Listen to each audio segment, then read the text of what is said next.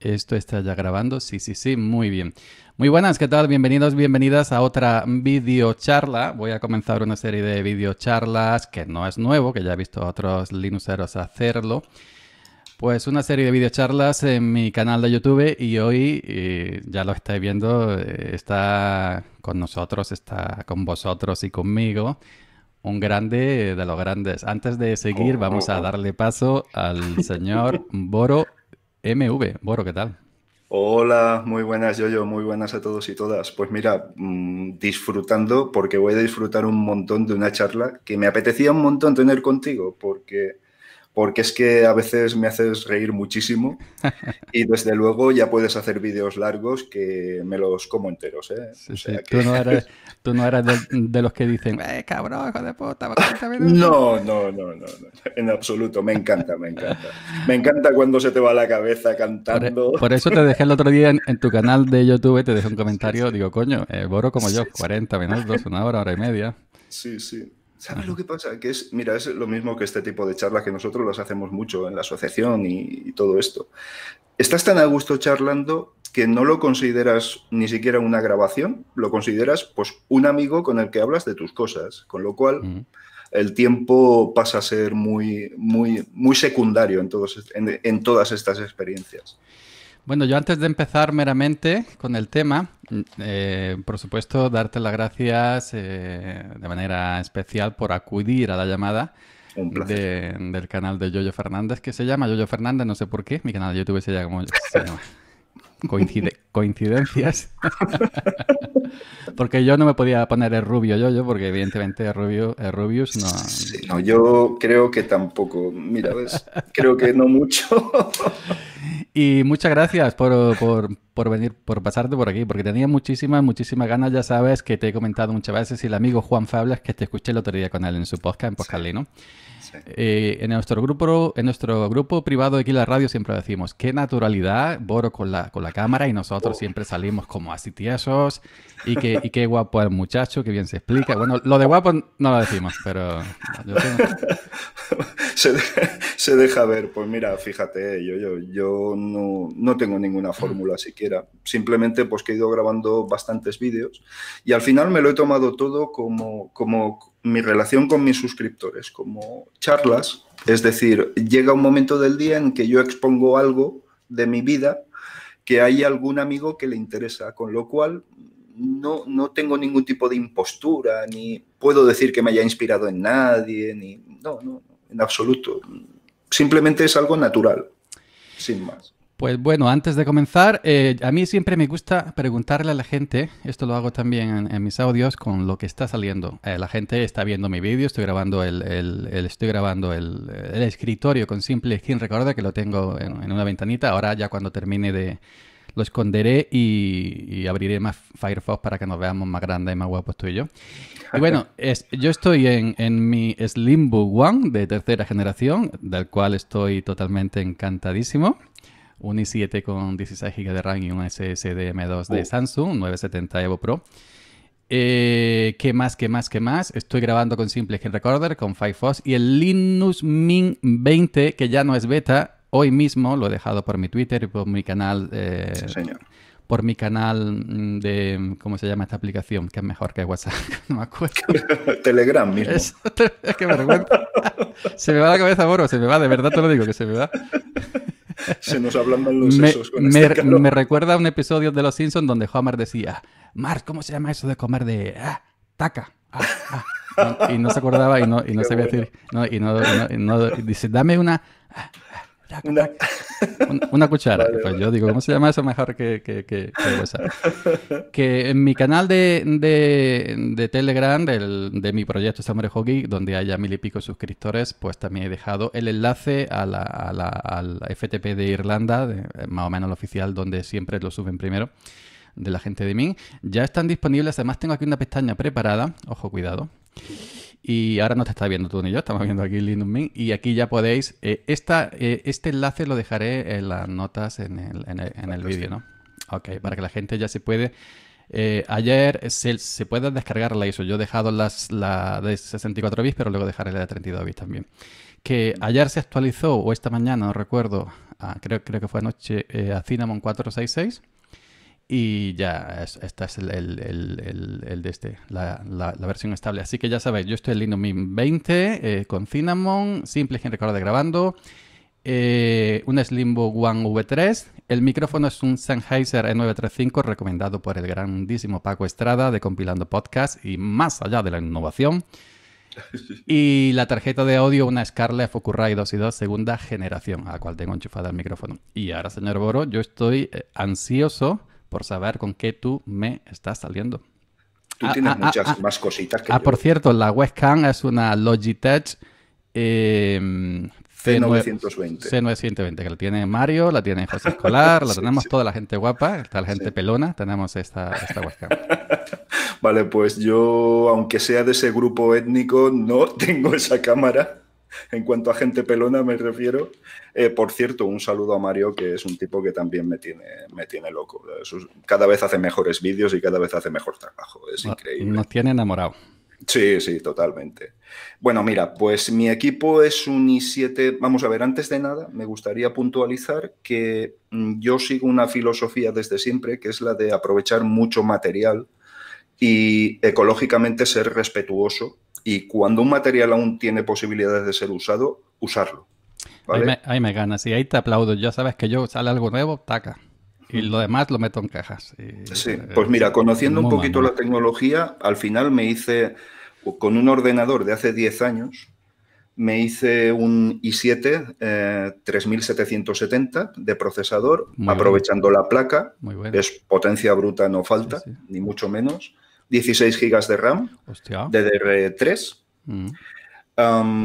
bueno, cambié el disipador, la caja y poco más. la fuente de alimentación me valió perfectamente, ningún problema. Hice esa, tiene una gráfica con salida para cuatro monitores, una Nvidia GTX 750 que me ha obligado a instalar los drivers privativos de Nvidia porque no hay manera con los Nubo.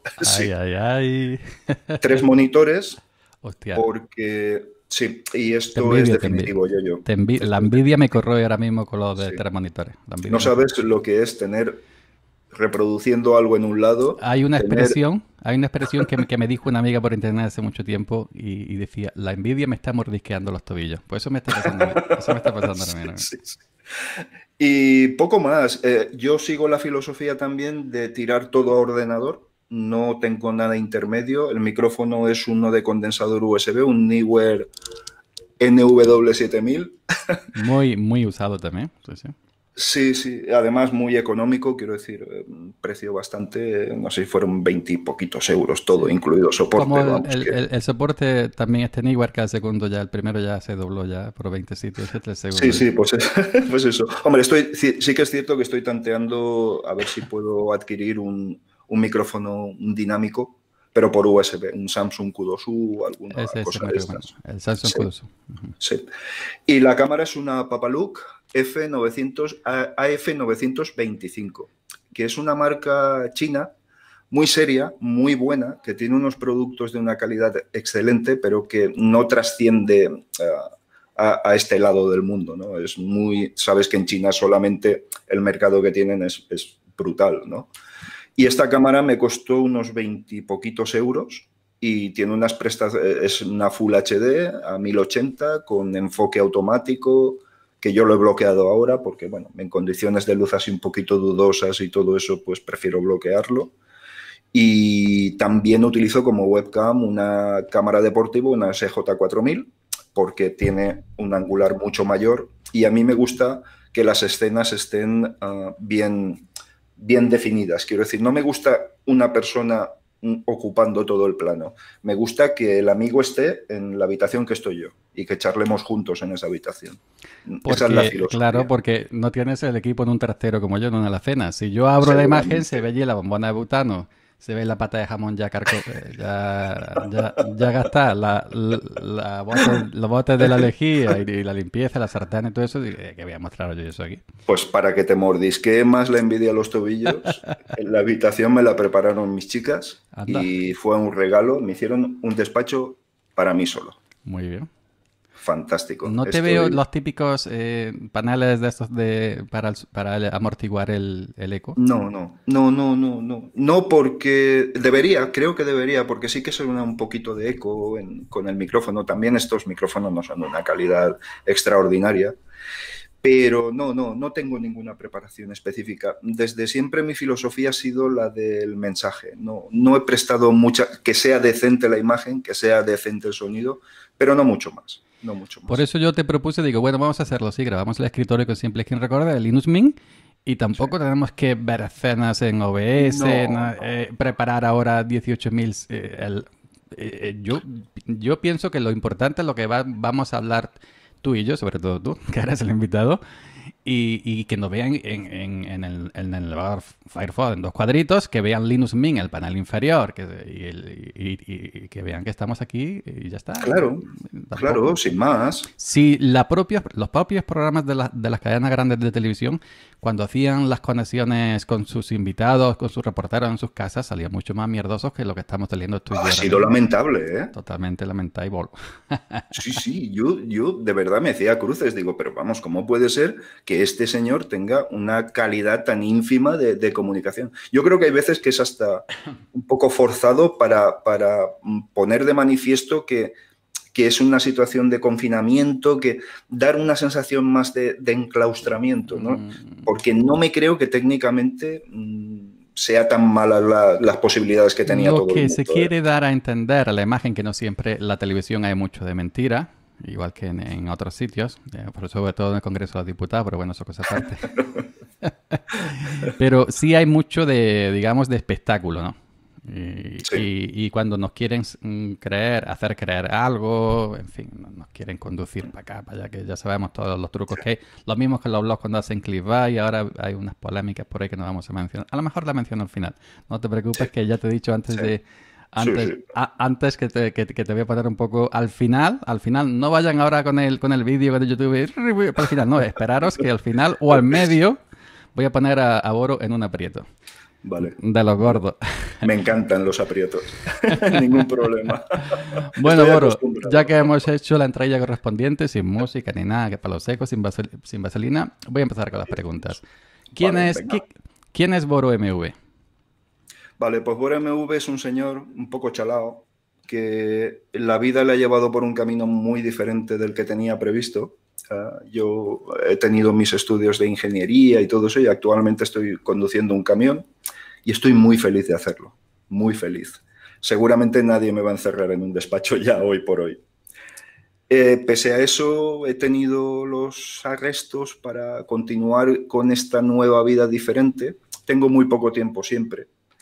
Y estoy en deuda con la comunidad y por eso intento grabar bastantes cosas, porque creo que eh, llegó un momento en el que pensaba que había que devolver a la comunidad lo que la comunidad me había dado. Es decir, yo aprendí muchas cositas de electrónica, de informática en general, etcétera, etcétera.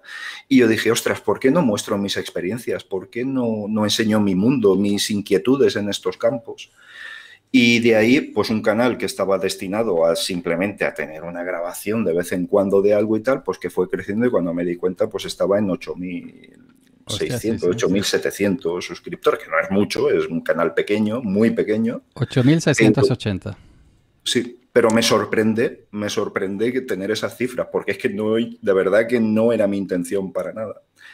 Y a partir de eso, pues bueno, entré en contacto con gente de la comunidad Linux. Yo empecé con Ubuntu 8.04 aproximadamente y he conseguido conocer a gente maravillosa, gente muy positiva, gente con un valor ético, unos fundamentos éticos muy importantes. Y eh, con la fundación de la de la de GNU Linux Valencia, de la asociación, que es la única asociación. Te está adelantando todas las preguntas que tengo preparadas, es decir que. No, pero bueno, incidimos en ellas, incidimos en ellas. Y por lo demás soy un tipo muy normal, quiero decir, no, no, no soy un tipo impostado, no me gustan, sobre todo no me gustan las falsedades, no me gusta, me, me encanta la música y me encanta la vida, en todos sus aspectos. Me acaba de ahora mismo de dar cuatro patadas al, guion que me he hecho 15 minutos. Venga, venga, tú, tú de todas formas insistimos. No, no, no, no yo ya te he dicho que, Que por cierto, que, que, vuelvo a repetir lo que a mí este tipo de charlas, yo no sé a ti, a mí este tipo de charlas, a mí me encanta. Y ese, mm, porque yo llevo muchos años grabando audios y, grabando vídeos, también voy ya por creo que 11.700 suscriptores en YouTube, que me queda asombrado, yo no sé cómo la gente se suscribe ahí. Y, y, bueno, yo qué sé, esta naturalidad, yo creo que es lo que gusta esta naturalidad que tú muestras, que te, que te lo he dicho mil veces en, en, en YouTube, que a mí me encanta ver tus vídeos. A mí me hipnotiza ahí cuando empiezas a hablar o tus directos. Eh, y yo pues lo que busco es, nosotros no somos un magazine de Linux, nosotros no somos, por ejemplo, muy Linux, vamos a, decir, no, no, no, no, no, estamos trabajando que, que nos paguen, simplemente somos, hacemos esto porque nos gusta en nuestro caso, luego si bueno, nos caen ellos con el partner y todo eso, es cosa aparte. Pero que, que, a mí lo que me encanta de verdad es esta naturalidad. Y, y, y, y, yo creo que, que, lo que lo que está faltando, porque yo suelo ver muchos vídeos eh, norteamericanos, como estamos tú y yo, hablando con el micrófono, con la webcam, pues de, si están hablando de una serie de superhéroes, si están hablando de lo que sea, y, simplemente nada, dos personas, tres, cuatro, eh, eh, van contando sus cosas, sus pasiones, sus, comentarios sobre... Pero en español no, no hay prácticamente, o hay muy, muy poquito, ¿no? Muy poquito. Muy poquito, y entonces a mí me gustaría, ¿no? Eh, em, de, de, alguna manera, lo, lo, mismo que dentro de mi círculo fui yo, de alguna manera, quien empezó con los podcasts y luego ya más gente se animó, que me lo ha dicho, pues yo quiero darle también a estos vídeos de charla entre nosotros, la, la, comunidad, pues darle un poquito de, visibilidad.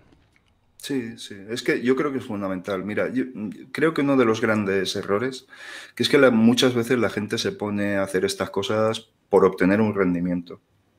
Y eso al final se nota mucho, las impostaciones, las formas de hablar y todo esto, pero cuando te da todo lo mismo, y lo que quieres es tener una buena charla y una buena charla que la puedas recordar y que, y que sea gratificante, todas esas cosas ya pasan a un segundo plano. Entonces, todo, todas las cuestiones técnicas, esas, esos engolamientos al hablar, esas cosas, es que no tienen... Eso que dicen, bueno, que si a este lado está distro, que no sé qué, como si fuera mí, como si me fuera la vida ahora. Si yo pongo punto no me gusta, pues, pues, pues, pongo otra. Si yo esto es eh, una distracción que tengo aquí después de soltar el tractor, que es otra cosa que te voy a preguntar. Yo, por cierto, tengo un hermano mayor que es caminero, lleva muchísimos años con, con, con tráiler, conozco el oficio perfectamente. Y, y, es curioso, tú que trabajas con un camión, aunque antes has sido otras cosas, yo que trabajo en el campo con un tractor labrando la tierra, normalmente el olivar, y antes de llevar un tractor era cabrero, estaba en, en la sierra, en el monte con las cabras. Sí, sí, te he oído muchas veces. Con un transistor en la oreja escuchando tablero deportivo. así, vaya, vaya. Pero que, que, es curioso como, eh, que no sé, que la gente que está en este mundillo, eh, porque a mí toda la gente que me contacta por Twitter o por Telegram, que son muchos, que sea administrador de sistemas, que sea estudiante universitario, muchísimos, pero luego es raro ver a gente como un currela como tú y yo, eh, eh, gente que haga contenido de cara al público, me refiero, ¿no? habrá, mucha gente que use Linux en la intimidad y no quiere decir. Pero gente que use Linux y, lo cuente y cree contenido con eso. Y luego me han dicho que hay otros que usan Linux y, tienen iPhone y MacOS y yo qué sé. Ah, uh, esa gente no es de fiar. hombre, tiene mucho yo, yo, porque fíjate, tú ahora vienes del olivar, vienes cansado, sudado, quemado por el sol. Eh, yo trabajo 15 horas todos los días y, e intentamos sacar un poco de tiempo para que evidentemente lo quitamos de nuestro descanso y de nuestra familia, evidentemente, de nuestro ocio y de nuestro descanso, en definitiva. Y creo que es un esfuerzo que se reconoce poco, se reconoce poco, pero fíjate que al final tú, por ejemplo, comunicando eres un, vamos, a mí, yo siempre lo he dicho, la persona que me infundió el amor por este sistema operativo y por su filosofía fuiste tú. Yo siempre lo he dicho. ¿Por qué? Pues porque desde un momento escuché a un amigo contándome cosas. Y me gustó, y me gustó, y me incitaste a ello. Yo, de verdad. Menos más que, más que la droga nunca me han gustado, si no te hubiera incitado. sí, exacto, ¿no? ha sido un palo que no. Pero por supuesto que tiene muchísimo mérito. Y aquí en España sí que es cierto que falta a gente hablando sobre Linux, pero gente hablando de manera normal, sin, sin problemas absurdos que a veces la comunidad, las discusiones que a veces tenemos en la comunidad que no conducen absolutamente a nada, más que a que alguien que nos vea diga, esto se Como la que se ha montado en Muy Linux con Atareado. Vale, sí, sí. Ahí se ha montado como la antiguamente se montaban aquellos salseos. Bueno, a, cuenta de Ubuntu, por cierto, que nunca, siempre a cuenta. El Linux, quien se aburre el Linux porque quiere. Sí, no, hombre, es cierto que el tema de Ubuntu es un poquito polémico. Eh, es un tema que, en fin. Oye, mira, que yo empecé, yo de los Linuxeros que están vivos, yo empecé con. vivos. Yo empecé con el. Me refiero a los viejos mm, perros, entre comillas, ¿no? Perros en el sentido cariñoso, ¿no? Entiendo, entiendo. Eh, yo empecé con. Bueno, yo empecé con SUSE 9.0, pero probé el primer Ubuntu, el 4 días Guarti Guarti Guarto, jabalí verrugoso. Vaya que sí. Y lo he probado, creo que todos, exceptuando uno o dos, cuando aquella versiones con Unity y aquella mala, pero que eh, eh, Ubuntu eh, es Ubuntu que esté tomando un camino, esté tomando otro camino, pero mucha eh, mucha cosa que se conoce en día de Linux gracias a Ubuntu. por eso no, no, no, no quiere decir que le tengamos que poner un, un, santo, ¿no? Un cuadro y rezarle todas las noches, ¿no? Pero bueno, que ha hecho cosas muy buenas. Sí, es evidente que cuando piensas en GNU Linux piensas en una pantalla morada con unos iconos de color naranja. O sea, es que es inevitable, ha tomado la imagen de GNU Linux. Otra cosa es la deriva que esté tomando. Otra cosa es, pues, algunas cuestiones que es evidente que no están nada claras, nada claras y que deberían clarificar. Y, otra cosa también muy diferente es que la comunidad a Ubuntu le ha perdonado muy poquito siempre.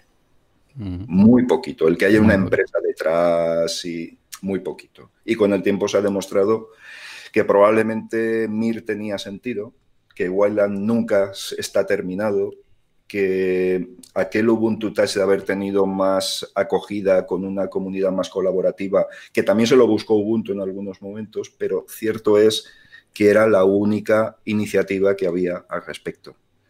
Mm. Tendríamos que haber hecho un poquito más de fuerza.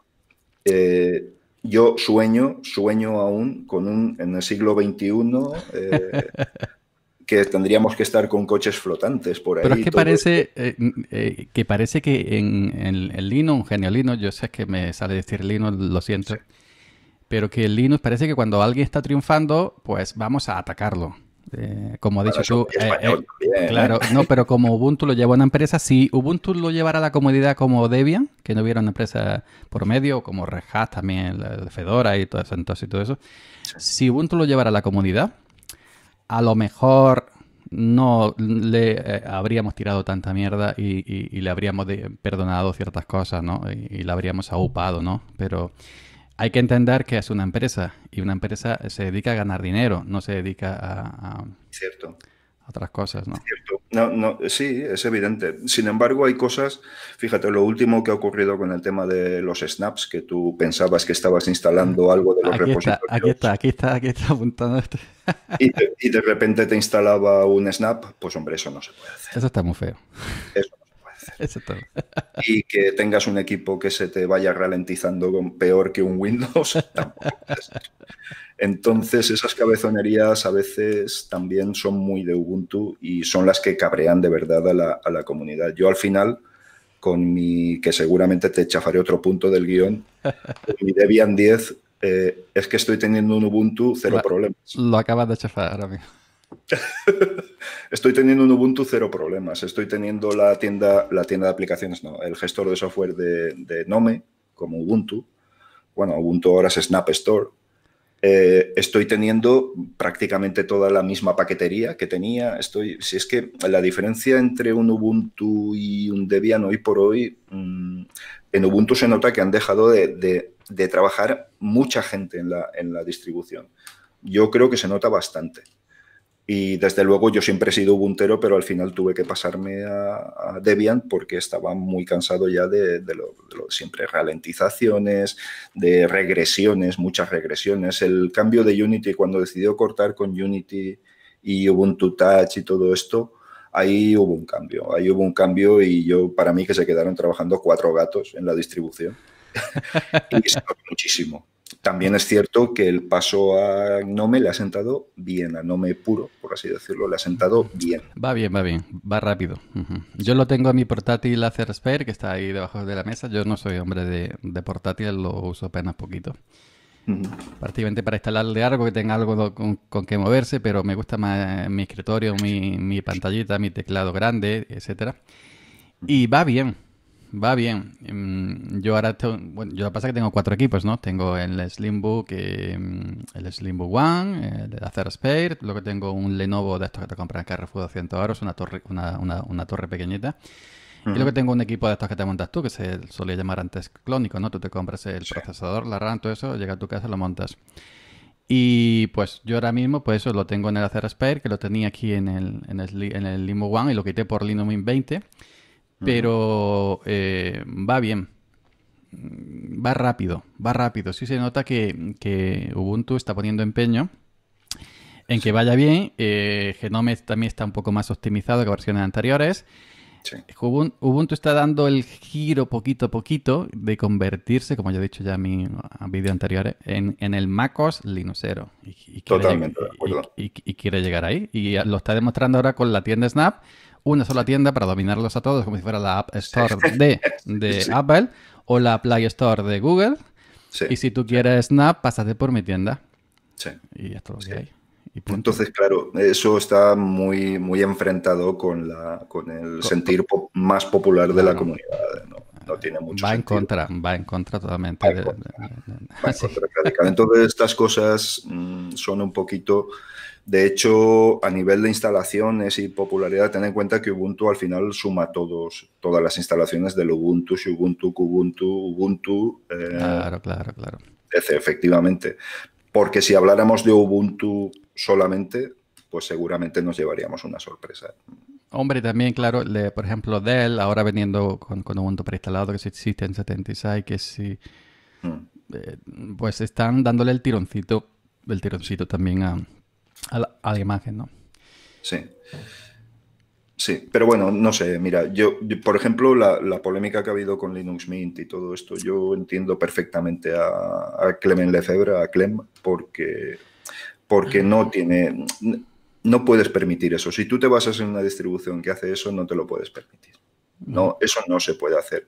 Y lo peor de todo es que no haya propósito de enmienda, ¿vale? Con lo cual tu público, la gente que utiliza tu producto, como es el caso de Linux Mint, eh, te, va, te va a morder el cuello. Es decir, no, no, no se puede permitir eso. Ahora, tú si quieres, instálate el servicio de Snap.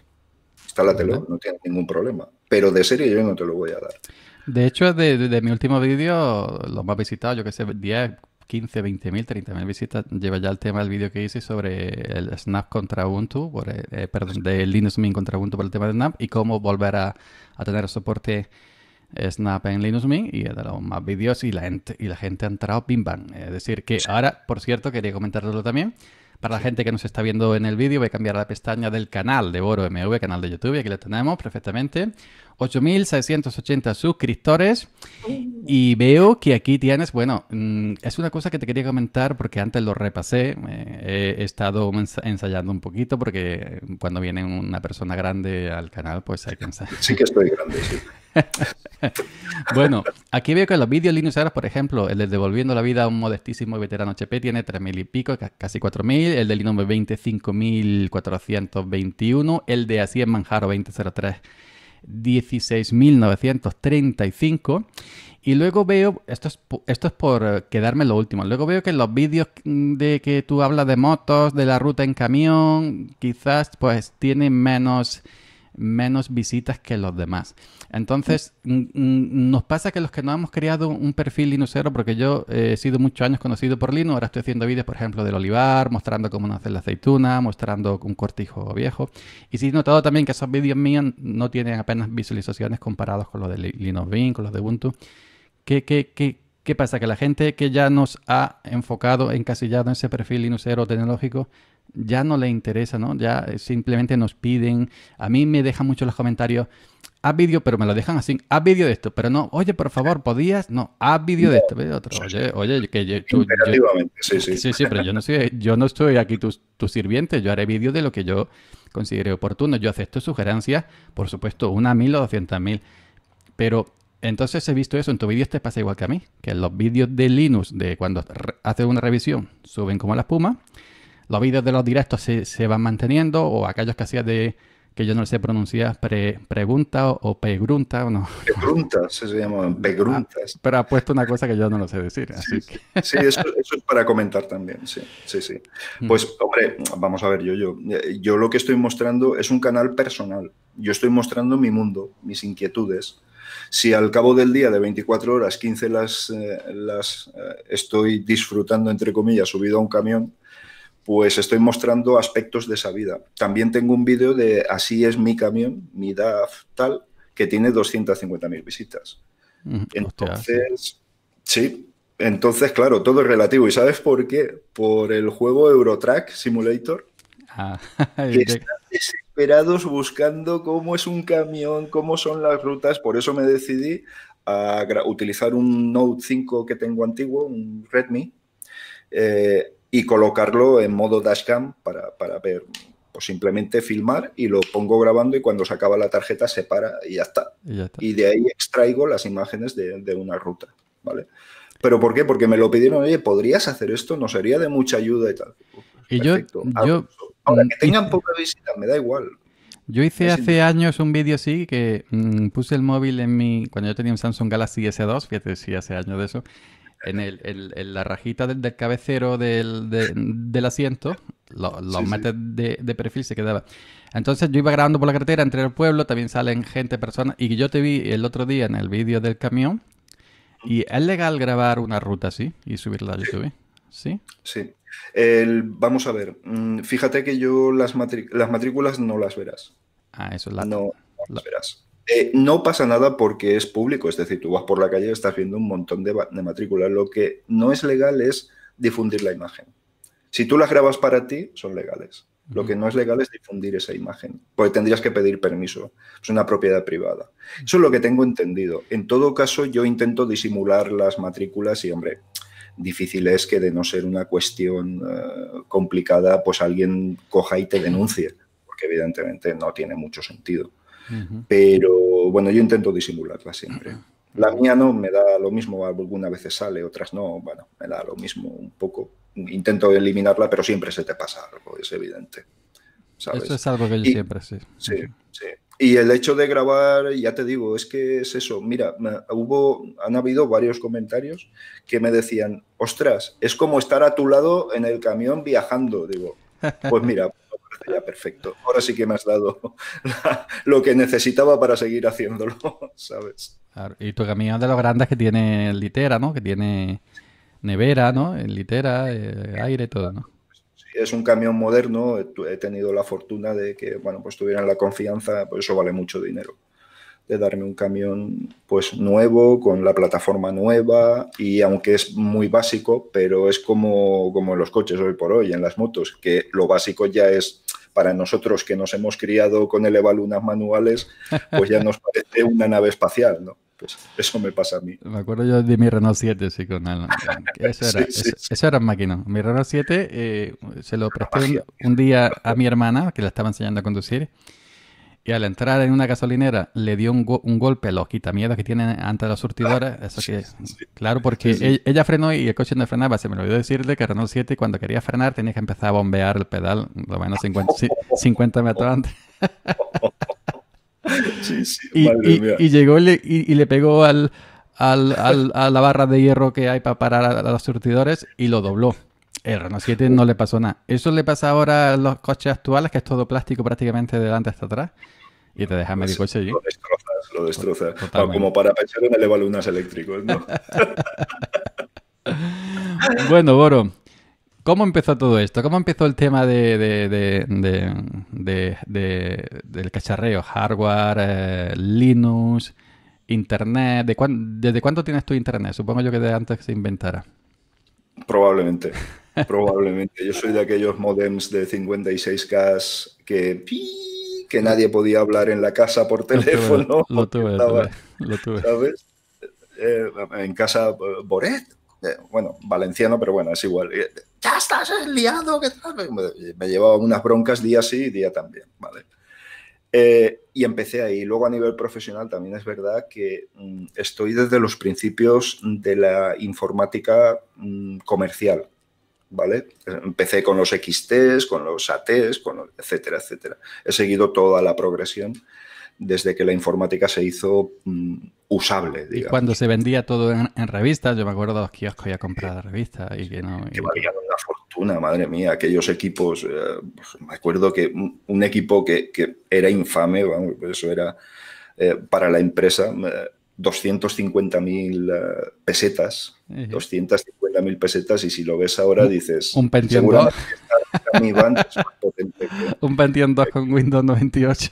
yo, yo, era un XT, un, me parece que no era ni Pentium, un 486 creo que era. 486, 486. Pero con los 386 también los he conocido. Ya, pues bueno, tuve un MSX, un Sony MSX, que ahí aprendí un poquito de pre-basic, digamos. Eh, y luego profesionalmente ya me derivé hacia estaciones de trabajo, ya cuestiones de diseño asistido por ordenador, etcétera, etcétera. ¿no? O sea, yo la informática la he vivido desde siempre. Y por cuestiones diversas, por disponibilidad económica y también por, por cuestiones profesionales, he estado acostumbrado toda la vida a cacharrear, a resolver problemas rápido. O sea, no, no, eh, en mi caso, por ejemplo, fíjate que era para la industria del automóvil, tú no podías permitirte que parara la producción. Eso es un, es un problema tremendo en esa industria. Y tenías que apañarte con alambre, un condensador y una batería de, de una elevadora. Es que tenías que hacer que las cosas funcionaran. Y a nivel doméstico, evidentemente, si tienes pocos recursos, pues, pues también, también. De ahí empezó ya mi inquietud ecológica. Luego vi que eso hilaba muy bien. Siempre tuve esas inquietudes. He sido muy respetuoso con, los animales. Siempre ha sido un mundo que me ha gustado mucho. Y ostras, es que nos estamos cargando el planeta. ¿eh? Nos lo estamos cargando a pasos acelerados. Y además yo siempre pienso que este castañazo pandémico eh, ha sido importante a nivel mundial, está siendo muy importante porque ni siquiera ha terminado, esto está acelerando aún, pero el siguiente problema va a ser una catástrofe climática. Algo tiene que ocurrir. O sea, el otro día, el sábado pasado, hice un audio en el podcast. Eh, en el círculo polar ártico estaban a 38 grados. ¿A 38 grados? 38 grados. Todo el permafrost de Siberia, el norte de Canadá, Alaska, está derritiéndose. Hostia, put... hostia. Sí, sí, sí, sí. Y estamos empezando el verano. ¿eh? Estamos empezando el verano. Es un. Es que. Y el problema es que ahí no va a haber vacuna. Ahí, cuando ocurra un problema va a ser irreversible. Entonces, bueno, ya veremos. Yo muchas veces digo en tono de cachondeo que caiga ya el meteorito, que sea rápido y, y fuera el humano se está comportando como una auténtica plaga. Es decir, está multiplicándose sin orden, está agotando los recursos del entorno y hasta que deje esto, pues seco. y ya está. A partir de ahí eh, hemos quedado en, las cuestiones informáticas, ¿vale? Y eh, empecé con GNU Linux simplemente porque lo consideré una muy buena opción en los primeros tiempos. Luego ya me convenció su parte ética. Es muy importante para mí y por problemas con Windows. Es decir, simplemente el problema que me decidió, porque había probado y dije, ¿esto, ¿esto qué es? Esto es muy diferente a todo lo que yo conozco.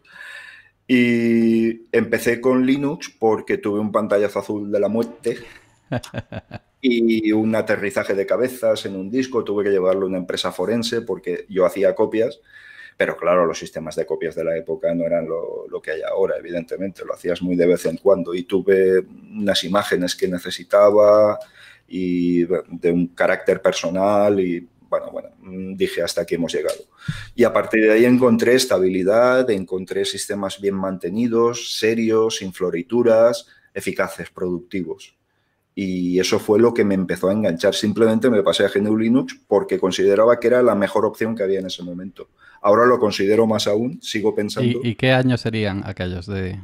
Por Ubuntu 8.04, estamos hablando pues del 2004. Hardy, Hardy Haron, Hardy Haron. No, 2008, 2008. Sí, sí, me acuerdo de los nombres de, yo he pasado por todo, Ubuntu 804, Hardy Haron, Hardy Hart. que mi hermano se compró en, el Carrefour una marca que, de estas que llevaban al Carrefour de bajo coste, E-Machines. Y traía, y traía Ubuntu 0804. Eh, era un procesador de un AMD de un solo núcleo. de RAM tenía 2 GB y lo una, una, una, gráfica Nvidia de integrada en la placa base. Ah. De las que van, que no van a partes pinchadas, sino que eso. Y bueno, lo arrancabas y no iniciaba. Empezar a, empezaba avisos, ni nada. Eso digo, claro, a la gente que compra esto, ¿Ubuntu esto qué es? Y lo enciende y pues vaya mierda, vaya mierda de Linux, me voy a XP. y le puse y le puse la Linux Mint de la época. Digo, te voy a quitar esto porque esto no. Pero luego ya era imposible con el tiempo una AMD de un solo núcleo y aquello era eh, lo tuve que quitar ya. Y el equipo el equipo recuerdo que cuando ya lo desechamos eh, al cuñado de mi hermano le, hacía falta una grabadora de, que no tenía de DVD. Digo, yo em, empecé a desmembrarlo. Toma, esto para ti. Eh, al otro le hacía falta una lectora. Ah, toma, esto para ti. Le hace falta RAM a otro. Toma, esto para ti. Eso sí, la construcción de la máquina era muy robusta. Era hierro bueno que pesaba. Por dentro tenía una mierda de, procesador y eso, pero lo que era hierro que envolvía todo y todo eso era un máquina. Eso lo tiraba así contra un camión y... Como arma arrojadiza era válido, ¿no? Al menos. Era, era tremendo, sí. Y, luego actualmente, pues mira, tengo la filosofía esta y pues de aprovechar muchos equipos para alguna asociación, para algún colectivo, he montado equipos a, base de piezas y sobre todo con GNU Linux sabes que es definitivo devolver a la vida a esos equipos y darles una utilidad muy importante porque ahora en estos momentos de confinamiento tenemos eh, el, problema de, la gente que no tiene acceso a la, a una conexión a la tecnología. De hecho, pues he intercedido con algunos vecinos para que le dejaran wifi, para que pudiera una criatura estudiar y todo esto. Y bueno, por ahí me voy, me voy moviendo a nivel particular, sin grandes alaracas ni grandes eh, bombos, pero considero que soy una persona inquietudes sociales importantes. Eso es bastante hermoso, hacer eso, es bastante hermoso tengo que hacerlo. Porque normalmente le ponemos una clave wifi a nuestro router de 18.000 caracteres para que nadie la... Como para que venga el vecino, dame wifi. Sí, sí. Pues, sí, bueno.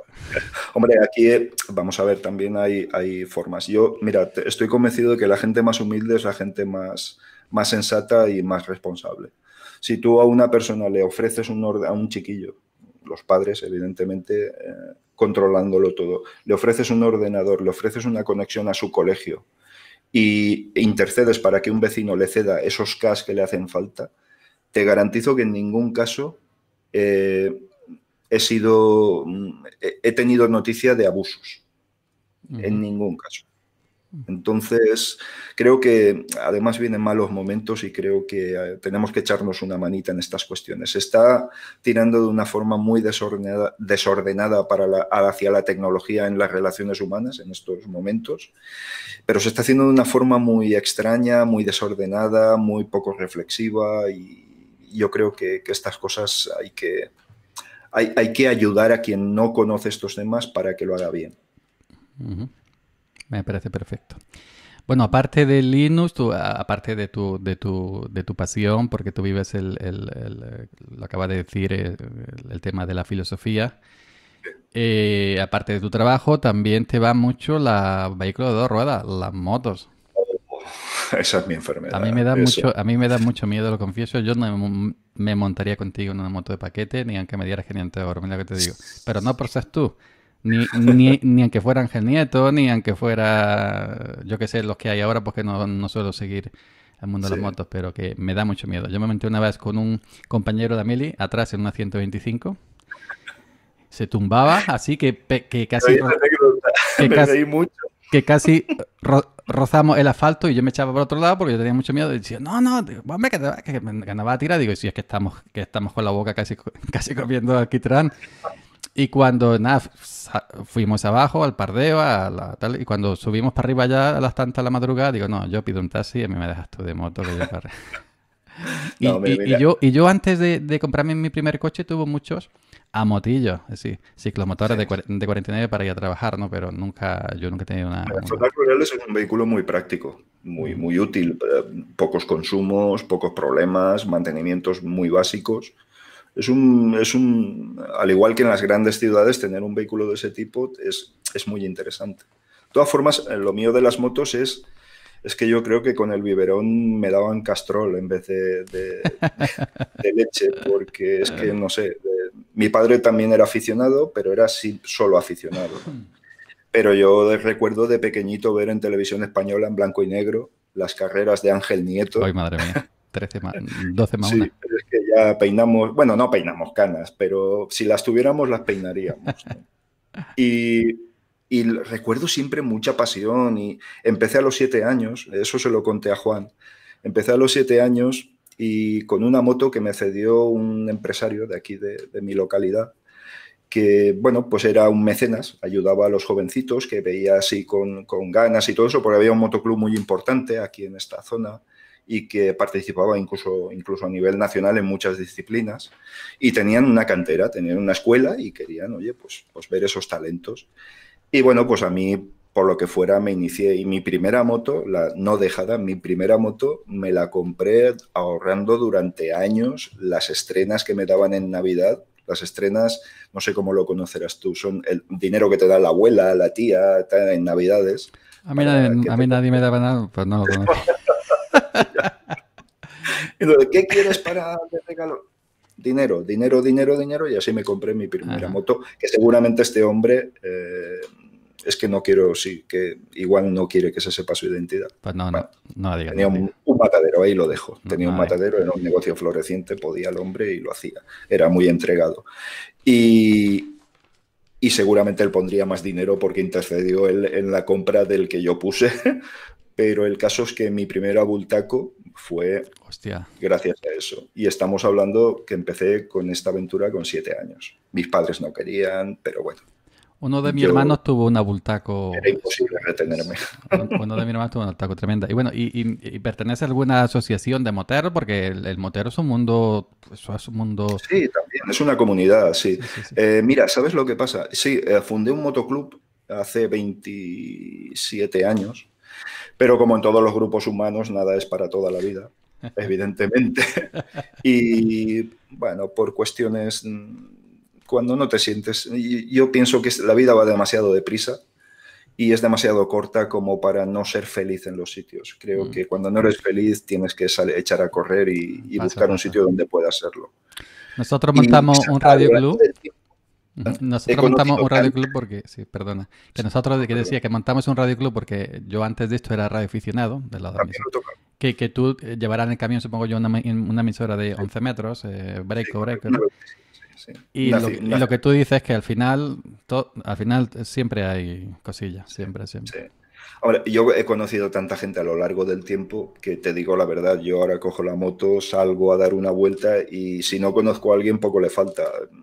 Quiero decir, soy conocido, soy veterano, me conoce mucha gente desde hace 30 años, con lo cual, pues oye, pues... Y, y, aquí nos conocemos todos. Además, tuve la fortuna de conocer personalmente a Ricardo Tormo, que es mi ídolo principal, mi ídolo principal. Y fue un hombre que en este sector también me enseñó la faceta humana. Ricardo estuvo muy enfermo ah, debido a las lesiones, accidentes muy graves, eh, problemas. Y me enseñó la faceta humana de esta afición y de este deporte. Y eso se lo agradeceré toda la vida porque ocurre lo mismo que con Genio Linux que no puede separar una, yo no puedo separar la moto de esa faceta humana, de la gente que busca un poquito de libertad, de liberarse del día a día tan pesado y espeso que tenemos en estos últimos tiempos, sobre todo, y, disfrutar esos momentos, como estoy disfrutando ahora tu charla. O sea, disfrutar esos momentos y olvidarse de todo lo demás. Entonces, eso es importante. Eso es muy importante y eso hay que cuidarlo y hay que promocionarlo. Pues esto me viene eh, al pelo, eh, bueno, al pelo en decir, para, para, hilar la siguiente pregunta. Adelante. Que yo, aunque tenga escrito esto al final, pues alguna me voy saltando, otra vez se me va ocurriendo durante la, conversación. ¿Qué, ¿Qué, ha supuesto para ti el, uso de, del software libre en tu vida, en tu vida normal y corriente. Supongo yo, claro, al crear comunidad y... Mm. Independiente. Sí, sí, sí, sí, perdón. No, ¿Qué, supuesto para ti? Sí. Sí, bueno, mira, mm, independientemente de la cuestión ética, ahora vamos a centrarnos en lo, en lo mollar, digamos. Y es que es eficaz, es productivo. Es decir, las herramientas que me he encontrado en GNU Linux son las mismas que utilizaría si tuviera que utilizar otro sistema operativo. Es decir, utilizaría GIMP, utilizaría Kdenlive, utilizaría Audacity, utilizaría OBS, que son programas que conozco, pero es que además utilizaría mm, Firefox, utilizaría Thunderbird, quiero decir, a mí me ha ofrecido unas herramientas eh, productivas, eficaces, que mm, para ponerme a, trabajar directamente con ellas. No he tenido, no he tenido problemas de licencias, no he tenido problemas de versiones, de inestabilidades. Mm, a mí me dio seguridad a partir de ahí lo que estábamos comentando, que, bueno, también entra una cuestión ética que sí que es cierto, como dice Richard Stallman, que hay que aceptar ciertas incomodidades porque es comprensible que no haya grandes corporaciones con sumas ingentes de dinero desarrollando las cosas y que a veces hay que aceptar ciertas incomodidades, ciertos compromisos. Pero es que yo, yo hoy por hoy compromisos pocos, es decir, yo creo que el nivel de software libre está mm, muy similar y en algunos casos muy superior porque se está mm, haciendo lo contrario. Es decir, antes se aprovechaba de una plataforma para, pasarlo a GNU Linux, pero es que ahora está ocurriendo lo contrario en muchos casos. En todo caso, lo que me supone a mí es confianza. Confianza, productividad y eficacia. La tranquilidad de usar un sistema operativo es algo que quieras sin pensar en seriales, sin pensar en... Mira, eh, yo esto lo comentaba también con Ricardo Espinosa, que salió en un vídeo mío otro día, que es un compañero de México y nos conocemos allá muchos años de nuestro grupo Kila Radio.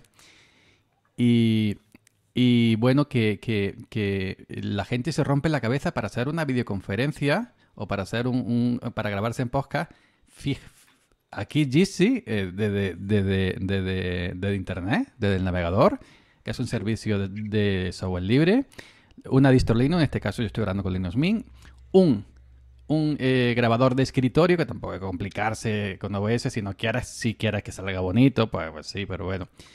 Y usando Jack para lo que, lo que muchas interfaces y mesas de mezcla hay que hacerlo por, software, es decir, el módulo UVA, que sería que el, que el sistema eh, recoja el sonido de mi micrófono y a la vez el sonido del ordenador, lo mezcle y lo devuelva al ordenador por si lo quiero grabar al local o emitir en streaming. Lo que yo estoy haciendo lo hago simplemente con Simple Screen Recorder y con Jack.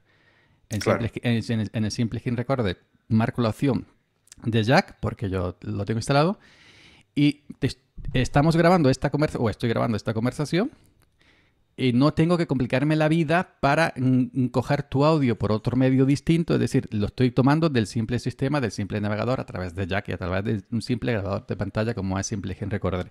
Para que un Windows 0 haga todo esto, necesita complicarse con mil cosas distintas. Ahora no yo porque está OBS y con OBS prácticamente si lo entiendes un poquito es una barbaridad. OBS es una cosa, es un todoterreno.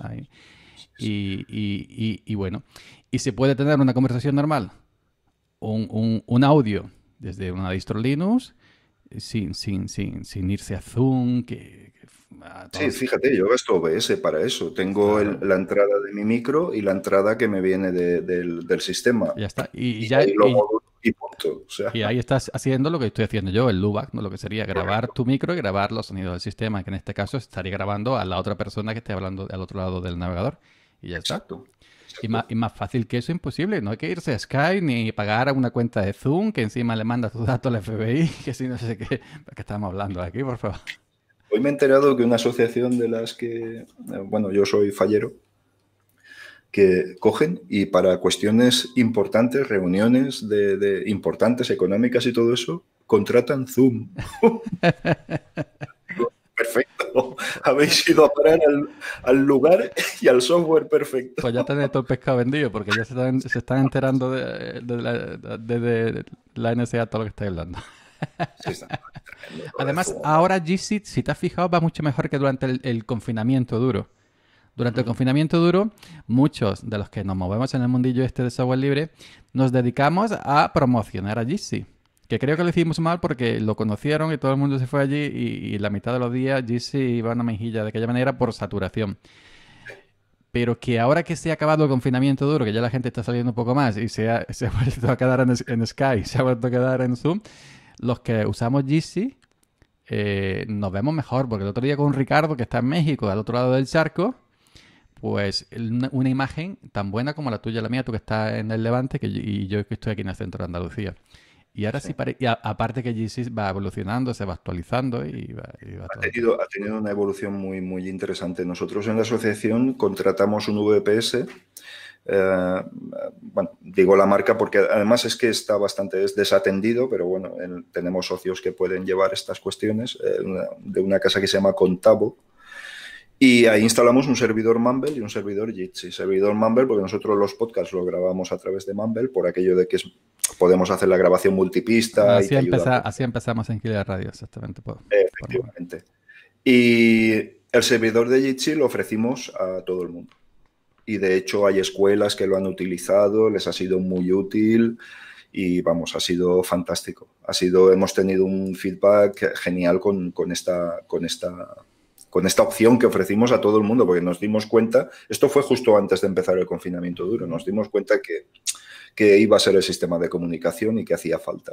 Lo primero que hicimos fue ofrecerlo pues, a, pues, entidades que, lo necesitaran y tal, y ciertamente ha habido un uso muy responsable. Como tú dices, sí que hubo momentos en los que la cosa flojeaba un poquito, pero flojeaba con nuestro servidor, que es una barbaridad de servidor. Mm, si eh, estamos hablando de los servidores genéricos de Jitsi, pues evidentemente es que es todo un planeta haciendo lo mismo. a mí que me parece que a mí, entrar aquí a meet.jit.si, servidor genérico, en, este caso, eh, y simplemente poner en el cuadrito un nombre que tú quieras y ya tienes una sala, es que esto, y que, sea software libre en este caso, esto me parece magia. Esto me parece magia. Hablar con otra persona eh, a través de la webcam, a través del audio, eh, en pocos segundos, de manera fluida, y esto me parece, a mí realmente me parece magia. Sí. Toda, toda, como había una frase de Carl Sagan que era que todo, toda aquella tecnología que escapa a tu conocimiento mm, es considerado magia.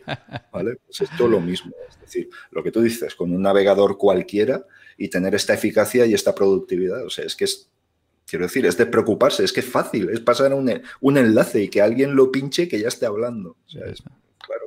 Es demoledor.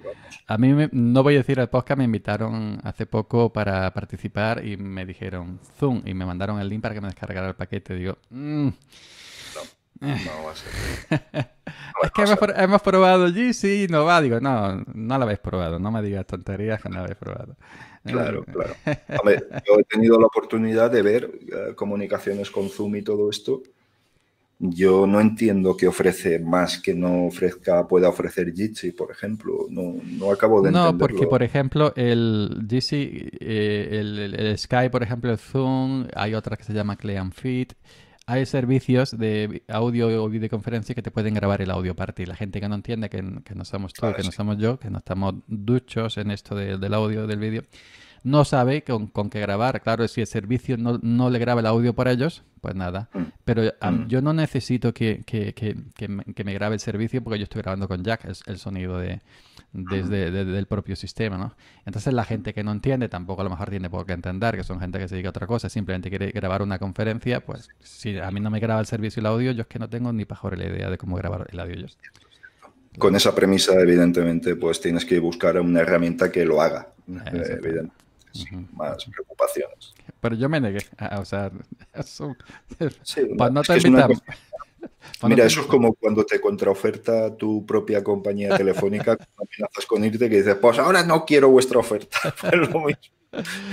Pues, o si, no usas Zoom, no te invitamos. Bueno, pues no me invites. Y al final usamos Sky en contra de, pero bueno, pero al final, bueno, voy a Skype, bueno, ahí vamos a Al final, hombre, hay veces que no tienes más remedio que amoldarte a la situación. Eh, vamos a ver, que aquí nadie es eh, químicamente puro. en algunos momentos necesitas poder comunicarte e interactuar con otras personas que no tienen tu, o tu experiencia o, tu, o han escogido el mismo camino que tú. No vamos a dejar de hacerlo.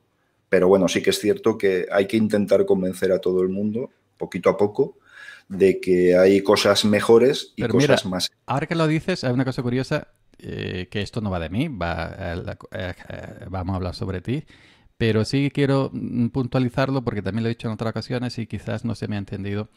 A mí se me ha, en cierto modo, perseguido muchos años porque, eh, bueno, eh, me he movido siempre por redes que no son libres.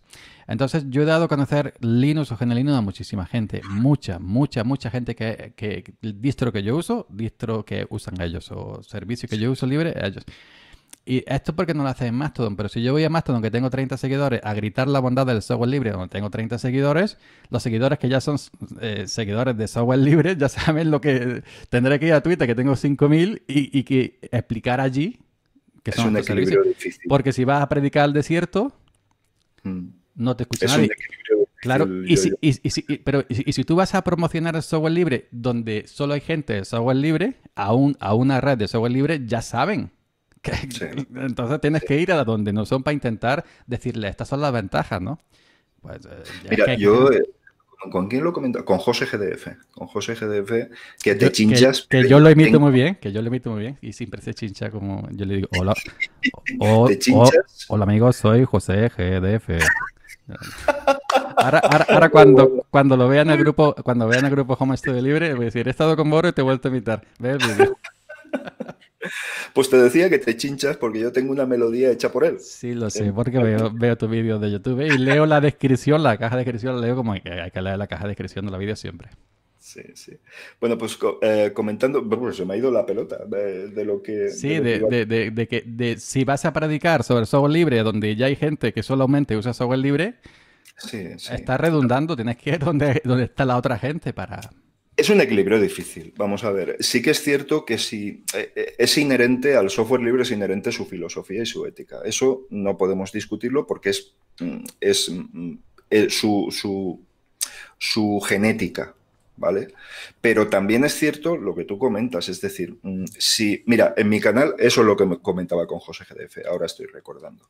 Haciendo cuentas con libreta Colorá y Bolivic, eh, resulta que más de entre 400, 500 personas, calculo así por encima, eh, viendo los vídeos y el feedback que he tenido y todo esto, se han pasado a GNU Linux. Entonces, claro, yo mismo, presidente de la asociación, decir, vale, mm, sé que con YouTube tengo un problema, un problema moral, pero voy a dejarlo ahora, voy a dejarlo ahora cuando se ha convertido tanta gente y cuando es posible que se convierta mucha más. Es decir, mm, yo creo que ahí la comunidad no es que debiera ser más tolerante, pero sí menos beligerante con estas cuestiones que están un poquito entre medias de unas cosas y otras. Eh, redes sociales, evidentemente, eh, si vas a tener una red social que es maravilloso, pero tienes dos en tu agenda, pues evidentemente será maravillosa la relación entre vosotros dos, pero poco más. es decir, pero es que tú, mira, Boro, eh, tú cuando, que, también esto lo de lo que se ha pasado gente con tu vídeo, lo vi también en tu canal de YouTube, pero tú sabes que YouTube está en todos los móviles de toda la gente, toda la chavalería, en Android que viene por defecto y en, en iOS porque es el, el, que, se lo instale. Y es simplemente, hoy en día se consume mucho en movilidad. La gente ya no quiere estar aquí delante de un PC como nosotros que ya estamos. y, cuando le llegan el aviso, vos has subido un nuevo vídeo y te ven en el móvil, lo tumban, pam, qué, qué, qué, qué, maravilla. Y sin embargo, Pertube o, o, otras, o Vimeo, que es un servicio de pago mucho, que no lo tienen en el móvil. Y hay que estar donde está la gente y la gente, el estándar nos duela o no nos duela, el estándar de vídeo en Internet es YouTube. Sí, por eso Google soltó la mortera de pasta que soltó en su momento por, por hacerse con YouTube. Y si tienes una cuenta de Gmail, tienes un canal de YouTube y puedes comentar los vídeos de YouTube. Y esa facilidad no hay en otros sitios. Y, es como yo con mi, con mi guerra con WhatsApp y Telegram. Yo sé que mm, mm, WhatsApp siempre va a ser el número uno. Yo lo digo ya de cachondeo ya, ¿no? Pero que, pues lo mismo, ¿no? Eh, en YouTube es el número uno y no va a venir ninguna plataforma a, quitarle ese, ese, reinado. Lo mismo que mm, Telegram, por mucho que nos empeñamos, no va a quitarle el reinado a WhatsApp porque se ha estandarizado a tal nivel de mándame un WhatsApp, no mándame mensajes. Entonces, pues eso. Pero hay que estar donde está la gente. Yo he tomado una determinación de todas formas, aunque es más incómoda y requiere más trabajo, y es estar, tener presencia en ambos ámbitos. Es decir, no puedo perder el trabajo realizado en YouTube porque sería una lástima y gracias a eso hay mucha gente que se está pasando al lado luminoso de la fuerza. Y eh, con lo que también voy a publicar, además va a ser en breve, lo hablé con Juan en su momento, con Juan Febles, eh, publicar también en PeerTube. PeerTube ha dado un paso muy importante y oye, no me cuesta nada subir vídeo, ¿cuál? Este, no me cuesta nada. Es decir, lo voy a hacer así. Eh, con el podcast estoy haciendo lo mismo, estoy alojándolo en archive.org y el podcast lo tengo en Anchor, pero porque es que, macho, es demoledor. O sea, lo de Anchor es brutal, porque es que grabas con el móvil los segmentos, le pones la música entre medias, la del principio, la del final, lo editas y lo subes y te lo difunde por todos sitios y dices, ostras, es que... Como diría Mario, Around the World Music. Around the World Music, correcto. Entonces es que es demoledor. ¿Ahí qué hago? Pues bueno, sobre todo en la web de motos, pues enlazo archive.org. Por lo menos intento intento buscar esa dualidad, ¿no? Y en cuanto a mi podcast, es, eh, tampoco es que sea algo masivo, ¿no? Quiero decir, es muy de, cuestiones sociales, me meto un poquito en política, tengo una tendencia política clara y sobre todo cuestiones sociales, ¿no? E, es por lo de las preguntas que al final tuve que dejarlo porque era muy perturbador. Eran Imagínate si en GNU Linux nos llevamos aguantazos a veces, que no será entre derechas, izquierdas, cuestiones diversas, etc. y, con, el actual clima de crispación, que no. este clima no es nada bueno. Esto que se ha generado, no. No, esto va a traer muchas consecuencias y yo ya las estoy viendo y las estoy achacando. El otro día lo comenté en uno de los audios. Eh, toda esta, esta juventud que está haciendo caso omiso de, las, eh, de las recomendaciones de las autoridades y todo esto, vamos a ver, si tú estás oyendo que a un presidente del gobierno le llaman, sea del color que sea, le llaman inútil, incompetente, que al ministro de Sanidad lo llaman poco menos que asesino y que a uno de los mejores epidemiólogos del mundo le llaman inútil, eh, no sé, pues medio asesino también, ¿qué va a pensar los jóvenes? Dices, joder, pues entonces hago lo que me da la gana, pues si son unos inútiles, pues, mis amigos no van a estar contagiados. ¿Me entiendes? Es que eso trae muy malas consecuencias sociales. Lo malo es que estos climas em, es difícil quitarlos de en medio. ¿eh? Esto luego lleva generaciones quitar esto. Es que ellos son, los, eh, ellos son los, que han empezado toda la crispación, han sido los propios políticos, por intereses propios, que ya más o menos nos imaginamos cuáles son. Que les conviene que esté el clima como está enrarecido y que no se llegue a olvidar nunca el tema de las dos Españas, que eso va a ser eterno. Ese, ese San Benito, esa, esa cruz nunca nos la vamos a quitar. Pero bueno, yo, yo antes, yo antes hacía foros locales en, la plataforma Foro Activo, que ahí te haces un foro en cinco minutos. Sí, sí, lo sé. Y tocábamos el tema de política y religión y venían a mi casa a buscarme con cuchillo. Digo, sí, sí, sí, sí, Se acabó, se acabó el tema. claro, yo porque, porque, es que yo, yo, si te pones a hacer un vídeo, la sección preguntas, bueno, para quien no lo sepa, era una sección por la cual eh, yo decía el viernes, oye, mm, a partir, este vídeo sirve para que en los comentarios pongáis los temas que queréis que trate, tal. Y luego hacía un vídeo resumiéndolos. Fue creciendo, pero claro, empezaron los haters políticos y eso es muy malo. Muy, malo. Muy. Y corría el peligro de que todos los vídeos de difusión de GNU Linux, de, de mi vida habitual, que del camión y todo eso, se echarán a perder. Y dije, no, tengo que cortarlo. Lo intenté revivir, pero ya definitivamente tuve que cortarlo y entonces lo hago con los audios. En los audios me explayo, explico mi punto de vista y, oye, y, caiga quien caiga. Pero bueno, el audio sabes que es un poquito más inocente. Claro, y allí no van a, Anchor, no van eh, a... Bueno, y es lo que yo te decía, la inmediatez y la facilidad de dejar un comentario en YouTube con tu cuenta Gmail. Ahí, claro, ahí va todo el mundo a dejar comentarios buenos o a, los, que nos dedicamos a YouTube también vemos comentarios que, vamos, que... Pero bueno. Tienes que aprender. Eso es muy perturbador. Es decir, yo conozco mucha gente que se ha cobardado con eso y es simplemente borrar. Quiero decir, fuera. No, no, O eliminar el comentario, o ocultar el usuario, o hacer lo que quieras, pero no te puede perturbar. Es decir, al final tú no eres un profesional. Pero es que fíjate que al final te exigen profesionalidad, te exigen imparcialidad, te exigen. Y dices, no, no, no, señores, que yo soy un señor que está contando su vida. No la vida exacta, sino su vida con sus puntos de vista, sus inflexiones, sus inquietudes sociales, sus inquietudes eh, deportivas. Vamos, pero hay gente que no lo entiende, yo, yo, hay gente que no. No, no, no. imposible, y, no, imposible hacerlo. Bueno, ahora, ahora que toca el tema de foros, ¿tú no has sido carne de foro? Por ejemplo, yo he sido muchos años eh, administrador, moderador. Eh, foro y blogs, ¿has llevado eso también para adelante?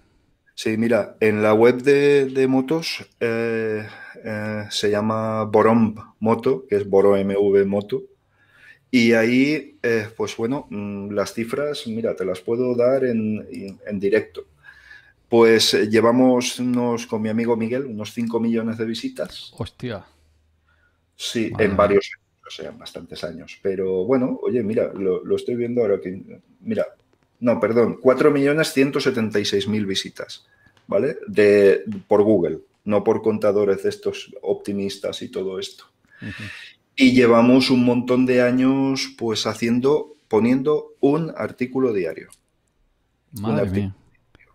un artículo diario sobre motos sobre motos solo, solo sobre motos. Pues da, da más de la enfermedad que no.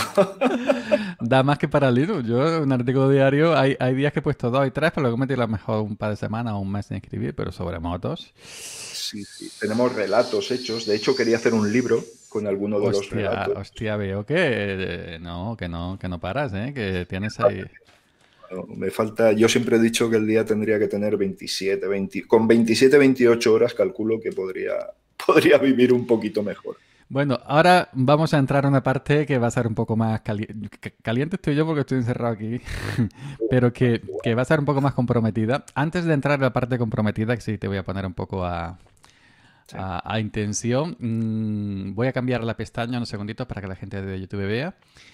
Carta abierta de la Junta Directiva al honorable señor Don Vicente Soler y Marco, conseller de Hacienda y Modelo Económico. Bueno, esto, esta carta que habéis mandado a, este honorable, eh, a este señor, cuéntanos un poquito, ¿qué es lo que, queréis dar eh, a conocer, a entender y qué es lo que estáis pidiendo ahí?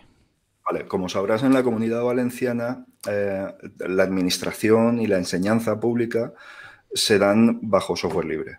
Es decir, eh, todo con, montado en Eurex, en el caso de la, enseñanza, y en la administración pública con tecnologías libres. Pues muy bien, de golpe y de repente, eh, con el pretexto de una mayor eficacia de comunicación en el teletrabajo de la administración, eh, se ha contratado, por sorpresa, además a Telefónica, no directamente a Microsoft, eh, mediando Telefónica unas licencias de Office 365. Eh, Cuando aquí está todo funcionando perfectamente y se podría trabajar perfectamente. Quiero decir, no habría ningún problema con todo esto. El montante son dos millones y pico de euros. Madre mía. Sí, sí, solo esto. Pero el pero es mucho peor y el sobrepero mucho peor aún. Y es que dentro de nueve meses, que es el periodo de vigencia de estas licencias para facilitar, entre comillas, el teletrabajo, eh, viene un contrato de muchos más millones de euros para pasar toda la administración. Evidentemente, si ya pones a la gente a trabajar con unos formatos determinados, es cuestión de tiempo que requieran los mismos formatos en unos casos y en otros. Y además, a raíz de todo eso, con lo que se percibe un movimiento bastante turbio, David Montalva, que era responsable de Eurex, ha dimitido. Por falta de apoyo, falta de apoyo institucional, era un equipo de cuatro personas, acabó estando cuatro personas más una subcontratación, pues si hay una licitación pública para, que empresas, para, para que las eh, empresas valencianas tengan, tengan eh, un beneficio, ¿no? Para el desarrollo de, las empresas valencianas. Y le quitaron a estas cuatro personas y bueno, pues se vio, dice, bueno, yo no puedo llevar esto, quiero decir, se le, se le asfixió eh, laboralmente, digamos, y ha tenido que dejarlo y bien hecho, quiero decir, era inhumano estar sometido a esas cuestiones. Además, acuérdate con el cambio, con la migración de, de, Nome a, a, a Qt, que hicieron con, con Eurex, que era un cambio más que nada por tener un poquito mayor de estabilidad y sabes que Nome es un poco caprichoso muchas veces con sus evoluciones, ¿no? Y es mucho más estable el entorno de KDE Qt. Eh, claro, lo que nos tememos es que es una progresión muy bien estudiada para acabar colocando licencias privativas en toda la administración, enseñanza y en todos los ámbitos empresariales de, la comunidad valenciana. Pero lo peor de todo es que sin ninguna necesidad y estamos requiriendo el informe que ha provocado esa decisión. Estamos Pues exigiendo. esa- el enlace también lo dejaré en la caja de descripción del vídeo. Que lo, que lo que está haciendo es lo que hizo la Junta de Andalucía con Guadalines, que por un Me lado, que, que- que por un lado decía, tenemos Guadalines muy bonita, vamos a abrir los centros Guadalinfo, Sí. que van con Guadalines, pero luego estaba firmando a espalda acuerdos con Microsoft. Y al final ha terminado arrinconando, arrinconando, arrinconando Guadalines, que ya ha desaparecido. Y hay una, una mm, como un fork de Guadalines, de algunos que quedaron que no la quisieron ver morir, que han hecho como una especie de fork. Pero eh, era una contradicción total porque la Junta eh, potenciaba Guadalines de boquilla para ver que sí, estamos aquí trabajando por el software libre, pero decían una mierda, estaban firmando contratos millonarios con Microsoft, pagándole montantes de ingentes cantidades de millones para, por sus licencias. Y en Extremadura, que, que fue la primera con, con- con aquella, ¿cómo se llamaba? Eh, No, eh, bueno, no, Linux, Linux. o, Linux Linux. o algo parecido, no sé. Que tenía una garza y tal y cual que hasta Ri- Richard Stallman alabó aquello. Pues cuando pasó lo que pasó todo. En Sí. cuanto que cambian los políticos, eh, en cuanto que, bueno, aquí en, Andalucía se han tirado 40 años el PSOE y es que lo ha hecho todo, ¿no? Pero que cuando cambian los políticos y hacen así con la mano, mm, Sí, tú fíjate, además aquí en la comunidad valenciana se da una paradoja muy grande. Mm, Fíjate, antes estábamos hablando de la filosofía de GNU Linux, que siempre es una filosofía más social, más que ahora está progresista. en la comunidad valenciana los que se suponen que tienen que ir con el... Efectivamente. Pero quien impulsó el GNU Linux en la administración y en la enseñanza fue un señor del PP, que ahora es eurodiputado, que fue Esteban González Pons. Ese- ese, me acuerdo, me acuerdo.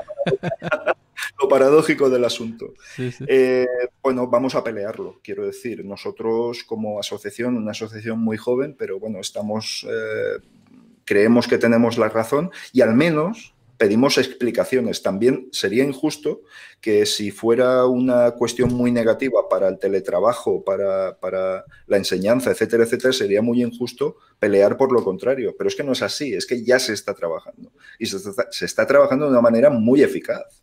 De hecho, es una gozada, aún hoy por hoy, yo el otro día, bueno, hace tiempo ya, fui a sacarme la firma electrónica, certificado de representación y todo esto, cuestiones de la asociación. Y me llevé la sorpresa de que estaban utilizando Ubuntu en Ujú. todos los equipos, 12, 14 equipos.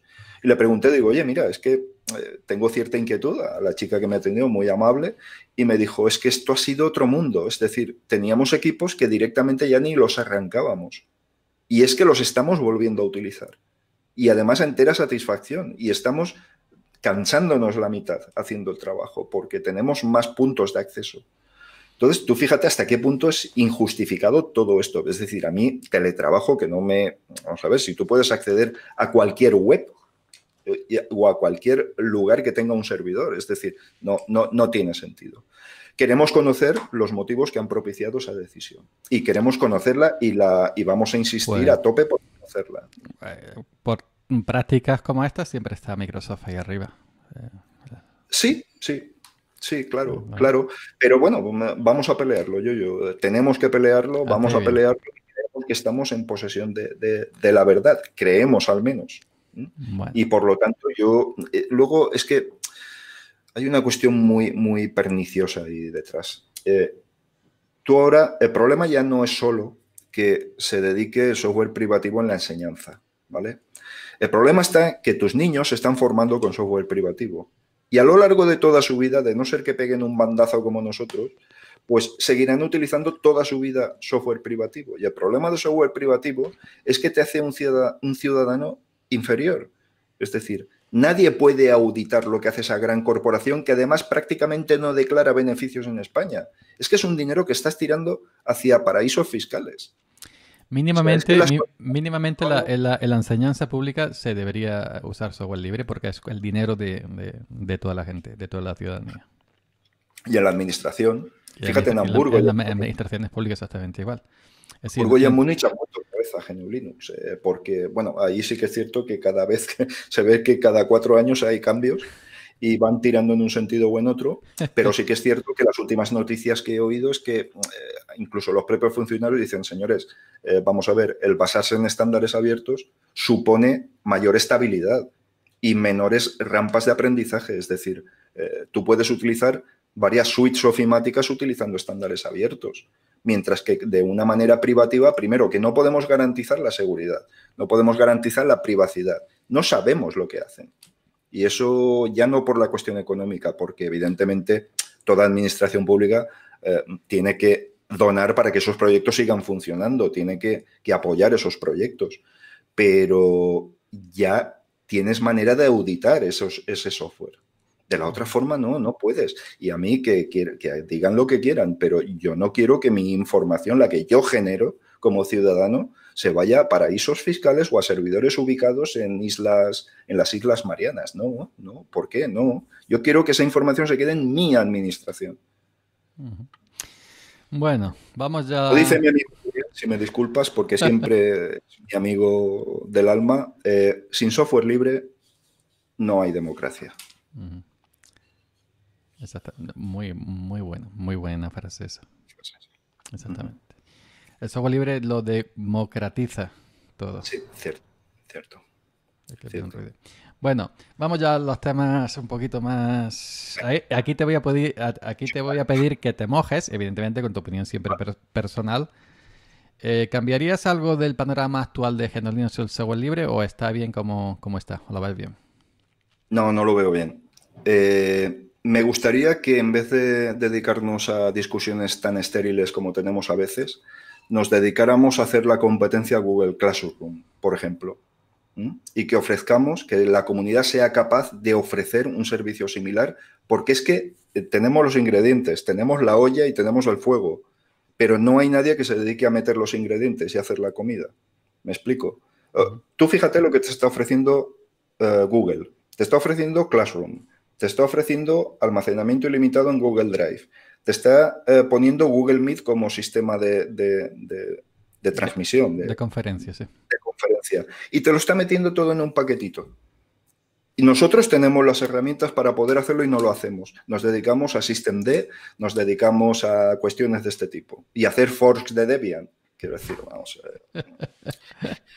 A mí eso me desespera. Fíjate que, estamos en, GC, estamos en GC y no, hemos tenido que acudir a, Meet de, Google. Así que. Efectivamente. Mira, hay una aplicación que se llama eh, nuestro amigo Javier Sepúlveda, socio de la asociación.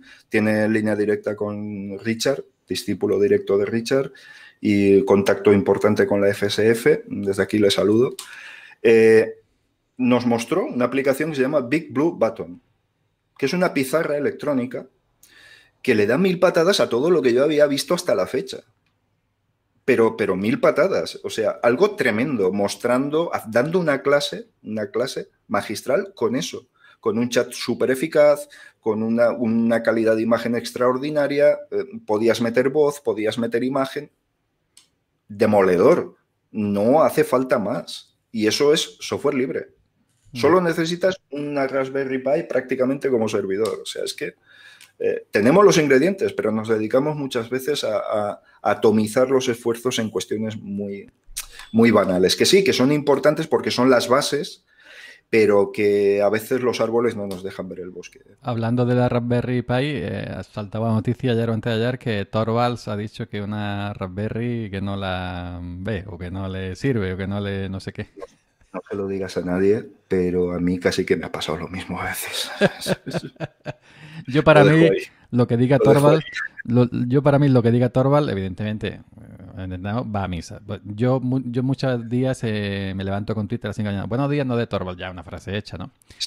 Pero que mm, yo siempre he sido más de, del lado de, de, Bueno, también hace meses, hace meses había otra noticia que saltó también en cierto blog de Linuxero de importancia, que se decía que había demasiadas distribuciones y pocas aplicaciones, que andaba a dedicarnos a copiar distro for, for, for, si ese, si, ese esfuerzo de, esa gente se, se, volcara en proyectos ya hechos, consolidados, importantes, y en crear nuevas aplicaciones para competir con, los otros como Windows o como MacOS, etc.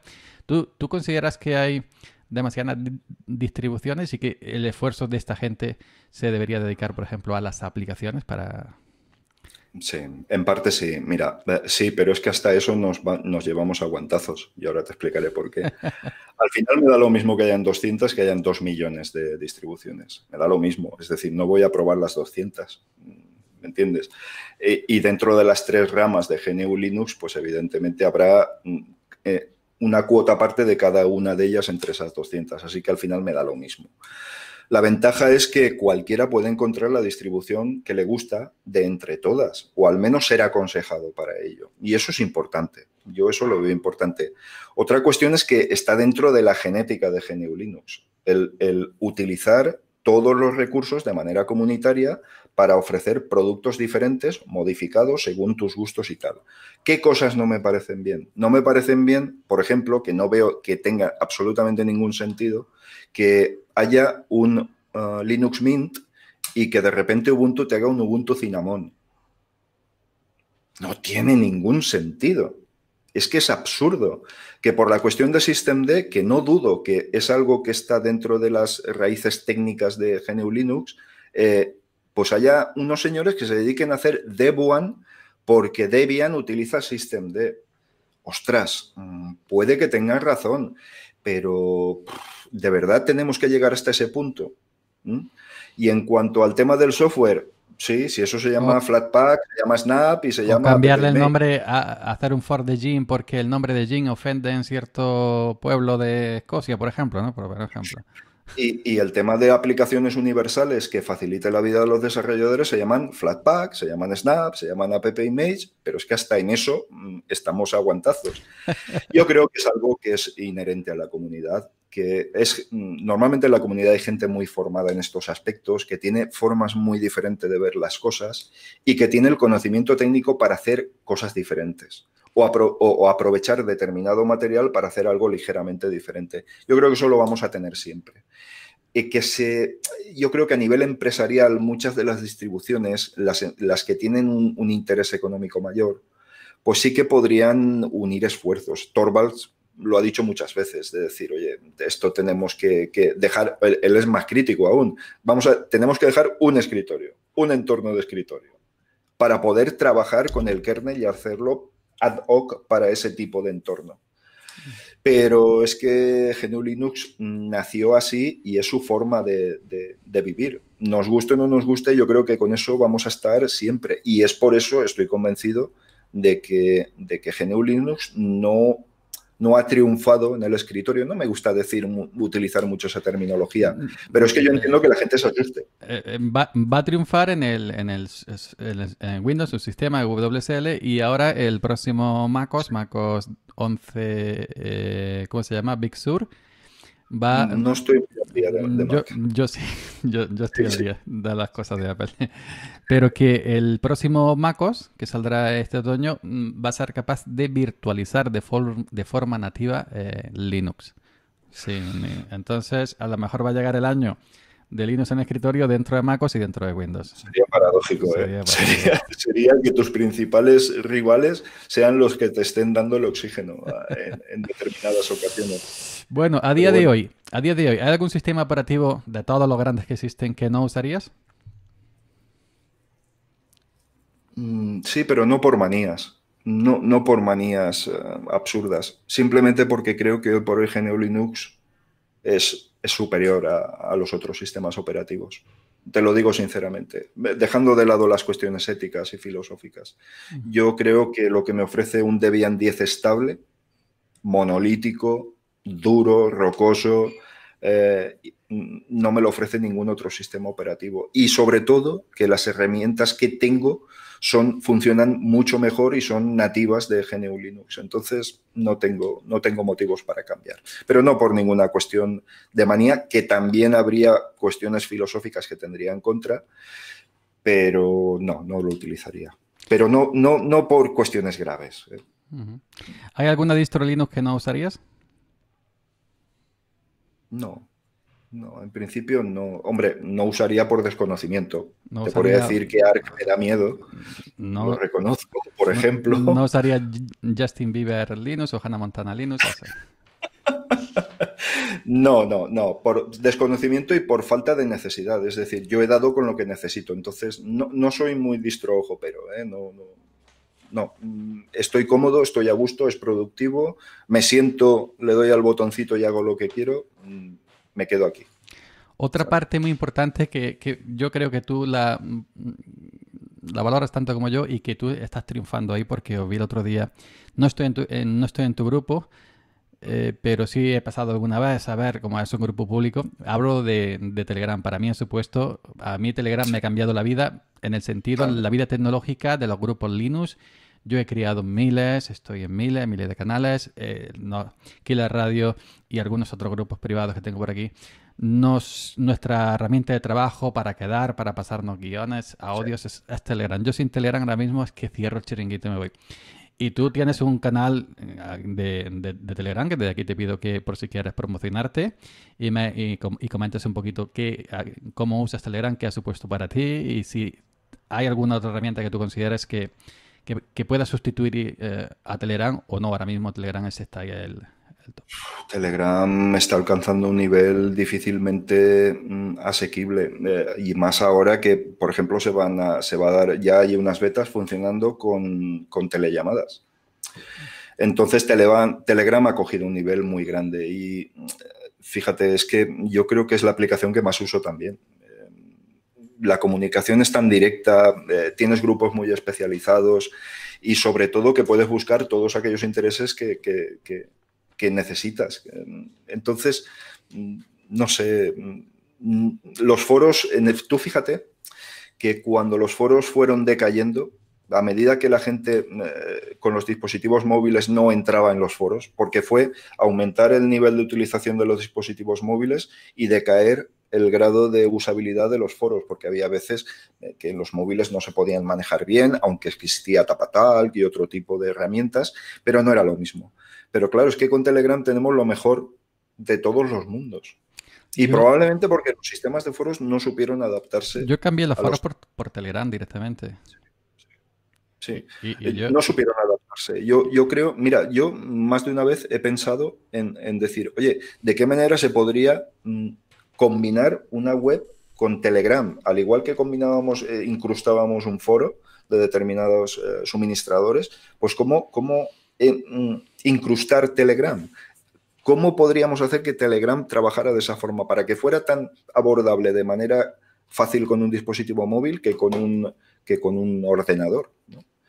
Eh, Telegram eh, a mí también me ha cambiado la vida. Mi grupo es Boro MV, soy muy predecible, quiero decir. No me... Y también ha ido creciendo Boro-MV, para la gente que lo busque, porque yo lo he buscado por, por Moro y no me ha salido, ya he empezado a afinar. cierto. Eh, también creció de una manera 400 y pico, creo que amigos hay ahora suscritos, pero sin pensarlo, quiero decir, lo tuve, oye, pues porque mm, cuando salió Telegram me hice la cuenta mm, mientras usaba WhatsApp, quiero decir, y, y poquito a poquito ha ido creciendo y prácticamente toda mi agenda de contactos está ya en Telegram. En los últimos tiempos ha experimentado un cambio tremendo. Y estoy pensando en quitarme WhatsApp directamente. Yo te voy a contar un secreto si no se lo cuentas a nadie. Yo nunca he instalado WhatsApp, nunca he tenido WhatsApp. Haces bien. Yo me he visto obligado por las circunstancias. yo nunca, jamás en la vida. Es una, es una coña que te lo cuente porque todo el mundo lo sabe porque no paro de repetirlo en Twitter. Pero que para mí Telegram es la vida. Yo sí, yo cuando, cuando hay alguna vez que se cae media hora, yo es que sufro. Porque yo Telegram y Twitter, y quizás más en Telegram, más activo que Twitter, para mí son la vida. Y yo sí, la gente ya se ha acostumbrado a, todo lo que yo suelto, el contenido, todo lo que yo hago está en Twitter y en Telegram.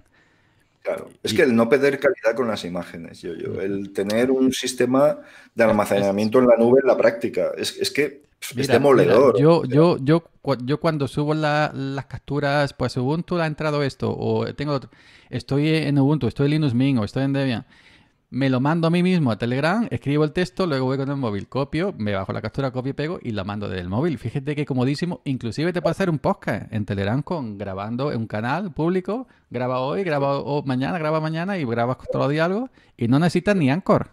Eh, no, no, das la URL del canal y la gente que lo vaya escuchando. Y dando el play, ¿no? Sí, sí. y para compartir cualquier tipo de, de, contenido, de archivo inclusive.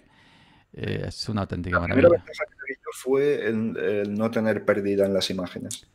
Eso para mí era muy importante y tenía problemas para poder pasar siempre por correo electrónico, por cosas un poquito más engorrosas, pero claro, con Telegram es que, eh, fíjate, a nivel de, fallero, por ejemplo, haces muchas veces un vídeo de alguna escena, alguna foto y todo esto, y el no tener pérdidas transmitiendo esa imagen es fundamental. Claro. Yo Solo eso es importante. Estoy grabando un vídeo y lo estoy editando en otro, por ejemplo, grabo Linux Mint y, me lo quiero mandar a, a, Kubuntu, que es donde tengo Caden Live, porque Linux Mint, para, porque si instalo Caden Live me instala medio plasma, ya, sabes tú. medio no, un, 80% de plasma. Digo yo, no, el Linux Mint Cinnamon ahora, pues me lo mando por Telegram. En vez de sacar un pendrive ahora por Telegram y luego inicio Kubuntu y ya está. Claro, y, claro. y cosas como esas miles. Sí, es que, es que tú fíjate ahora con el tema de las videollamadas, es que realmente dices, es que es la aplicación universal. Te sirve como sistema de foros, te sirve como, como, como tú dices, para hacer un podcast, para hacer hasta un canal de vídeo, si quieres. Es que puedes hacer lo que te dé la gana. es, tremendo. Yo, de todas formas, tú antes has dicho que, que, WhatsApp podría ser el número uno en el futuro. Yo no lo tengo tan claro. ¿eh? Podría y... Muchísima gente, pero muchísima gente se está pasando. No, pero eh, la gente normal y corriente, la gente común, eh, la gente no tecnológica, la gente hija y temerosa de Dios, como digo yo siempre, que se compran el móvil por WhatsApp, no por sus especificaciones, porque hay muchos que se compran el móvil que tenga WhatsApp. Que tenga WhatsApp, ¿no? La cámara, que tenga WhatsApp. 8 megapíxeles y WhatsApp. pues esa gente ya no dice envíame un mensaje, envíame un WhatsApp. Envíame un WhatsApp. Y, Esa es una de las cuestiones, los nombres son muy importantes. Y el, por ejemplo, aquí en el grupo de, trabajadores, pues tienen su grupo de, por ejemplo, de, yo qué sé, de agricultores. O lo de las cofradías, tienen su, su grupo en WhatsApp de la Virgen de tal y cual. Y los albañiles, pues tienen su grupo de trabajo de albañilería. Lo de las escuelas, la asociación de padres de alumnos por el grupo de WhatsApp. La comunidad de vecinos por el grupo de, de, de WhatsApp. Y eso ya se ha estandarizado y se ha calado tan dentro que eso ya es imposible. Eso es imposible. Por mucho que Telegram te ofrezca... Porque WhatsApp cuando va actualizando cosas y, y pone los blogs tecnológicos, estos que todos conocemos corporativos, eh, WhatsApp inicia una revolución y son tres cosas que tres cosas que ha copiado Telegram, pero qué revolución ni qué pollas. Lo que está sí, sí, totalmente de acuerdo. Sí, sí, a mí yo me río mucho con esas cosas, ¿no? Sí, el otro día yo leí en el del diario del español, el español, el, que lo compró el español, ¿cómo se llama? O micrófono, no sé qué, el español, y ponía una revolución en WhatsApp, esto, y decía, esto lleva dos años en, Telegram, qué revolución, qué polla. Están trabajando muy bien y y oye, yo, yo sí que pienso que poquito a poquito van a ir ganando terreno, sí. El problema de, bueno, problema de Telegram es que no estamos hablando, estamos hablando de un cliente libre, pero estamos hablando de unos servidores que no lo son. Pero también hay mucho, los grandes web, los grandes blogs, eh, sí es cierto que se han tirado tiempo tirando a Telegram por los suelos y, y poniendo WhatsApp, también habrá mucho de aquí, de que Facebook Supongo, claro. Y además estando Facebook detrás, pues vamos. Y cuando WhatsApp se queda los servidores porque ahí ha mandado Facebook uno con un destornillador allí. uno de Telegram que pasaba por allí. bueno, eh, ahora tengo un cuestionario rápido. No sé cuánto llevamos, pero permíteme que abra el, el simple Gen Recorder. Que yo estaría aquí Sí, en de, de, años. Lo que pasa es que me tengo que levantar a las 5 de la mañana, es el problema. Uy, llevamos una hora y 38. Así también. Está bien. no, está bien. así compruebo, así está grabando siempre que recordé y no, y, no se ha pausado. Es que me pasaba en una dista, no sé cuál, que los 5, 8, 9 minutos se, se, se pausaba, se separaba siempre que recordé, lo tenía minimizado, no me da cuenta. Me tiraba yo una hora y pico y digo, coño, no se ha grabado nada. La puta que vale, vale. bueno, vamos a ver. Vamos a ver. Un proyecto de software libre. Mójate, uno. Uno, solo uno. Solo uno. Debian. Debian. Dime una aplicación, porque la segunda pregunta es una distro. ¿Una distro? No, no, no, no, que me digas un proyecto, una aplicación, porque la segunda pregunta era una distro. Se, mójate. pues una aplicación a mí me ha sorprendido mucho eh, OBS. Es una navaja suiza. Es una renavaja suiza. Es más que una navaja suiza. Es una todo, todo. Y parece mentira que sea libre y que sea libre y gratuita, porque se podía cobrar perfectamente y si, y si, y, si, y si costara, por ejemplo, 20, 30, 40 euros, yo pagaba esos 20, 30, 40 euros. Pero, hombre, yo dono para todas las aplicaciones que tengo, pero lo que tú dices, si me dijeran, oye, 50 mm, euros, tómalos, lo, merece, lleva un trabajo enorme y muy bueno, sí. Una distro. Debian, Debian 10. Debian, 10 en ahora. Debian estable. Debian estable, Debian estable. Como, decía, como, digo yo muchas veces, Debian Debian, a ti te encontré en la calle. Un escritorio. Genome. Mm, está bien. es que las extensiones mm, te, lo hacen dejarlo perfecto. Como yo sigo genomero, eh, eh, sigo, sigo siendo genomero muchos años, pero, pero bueno. Y ahora, mm, porque yo también sabes que, como te dije al principio, que no solamente, no solo de Linux vive el hombre, así que vamos a cambiar un poquito de tema. Un lugar en el mundo. Ah, Valencia. A la tierra la quiero. de la flor, de la paz y del amor. Y te voy a decir que es el segundo lugar del mundo. Pues ahora la, la siguiente pregunta era una ciudad de España, así que... Siempre Valencia. Siempre Valencia. Es que lo quiero. Y el segundo, entonces, para, aquí, para dejar un poco Valencia, evidentemente, para no repetir, el, segundo lugar del mundo si no fuera Valencia. El puerto de Santa María, en Cádiz. Ay, madre mía, el puerto de Santa María. Qué maravilla. Es, tiene un duende. Tú no dices Brasil, Copacabana, no, no, no. Puerto Santa María y Valencia.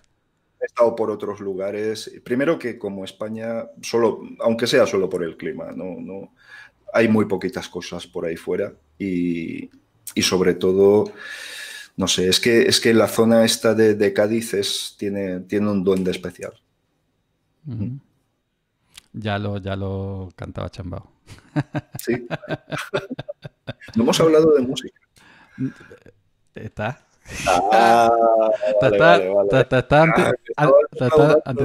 Yo porque si te gusta la moto supongo que eres rockero, que no eres de Locomía, ni de Alejandro Sanz, ni de... Ya no, pero bueno, mis gustos musicales son muy amplios. Son muy amplios. ¿El reggaetón entra? No. Eh, estamos hablando de... muy buena, muy buena esa, muy buena esa. Bueno, playa o montaña. Ya, como ha dicho antes Puerto Santa María, supongo yo que. Fíjate, es paradójico. La playa cuando las falten. Ah, montaña. Montaña. Me gusta la población. Puerto de Santa María, la gente, la población, pero la playa no. no Nunca me ha gustado mucho. Un disco de música. Uf. ¿Te refieres a un LP? Sí. No sé, como por ejemplo yo, yo si yo, fuera, diría eh, Thriller de Michael Jackson, ¿no? Por ejemplo. Pues... The Wall de Pink Floyd. Maravilloso. Yo lo, nosotros los interpretamos en EGB, la canción del muro. No, no, no ve que en tu que me salta el, el copyright. Este. que me está saltando últimamente en, en vídeos que tengo de hace muchos años en YouTube que me bajaba la música de Free Music Archive.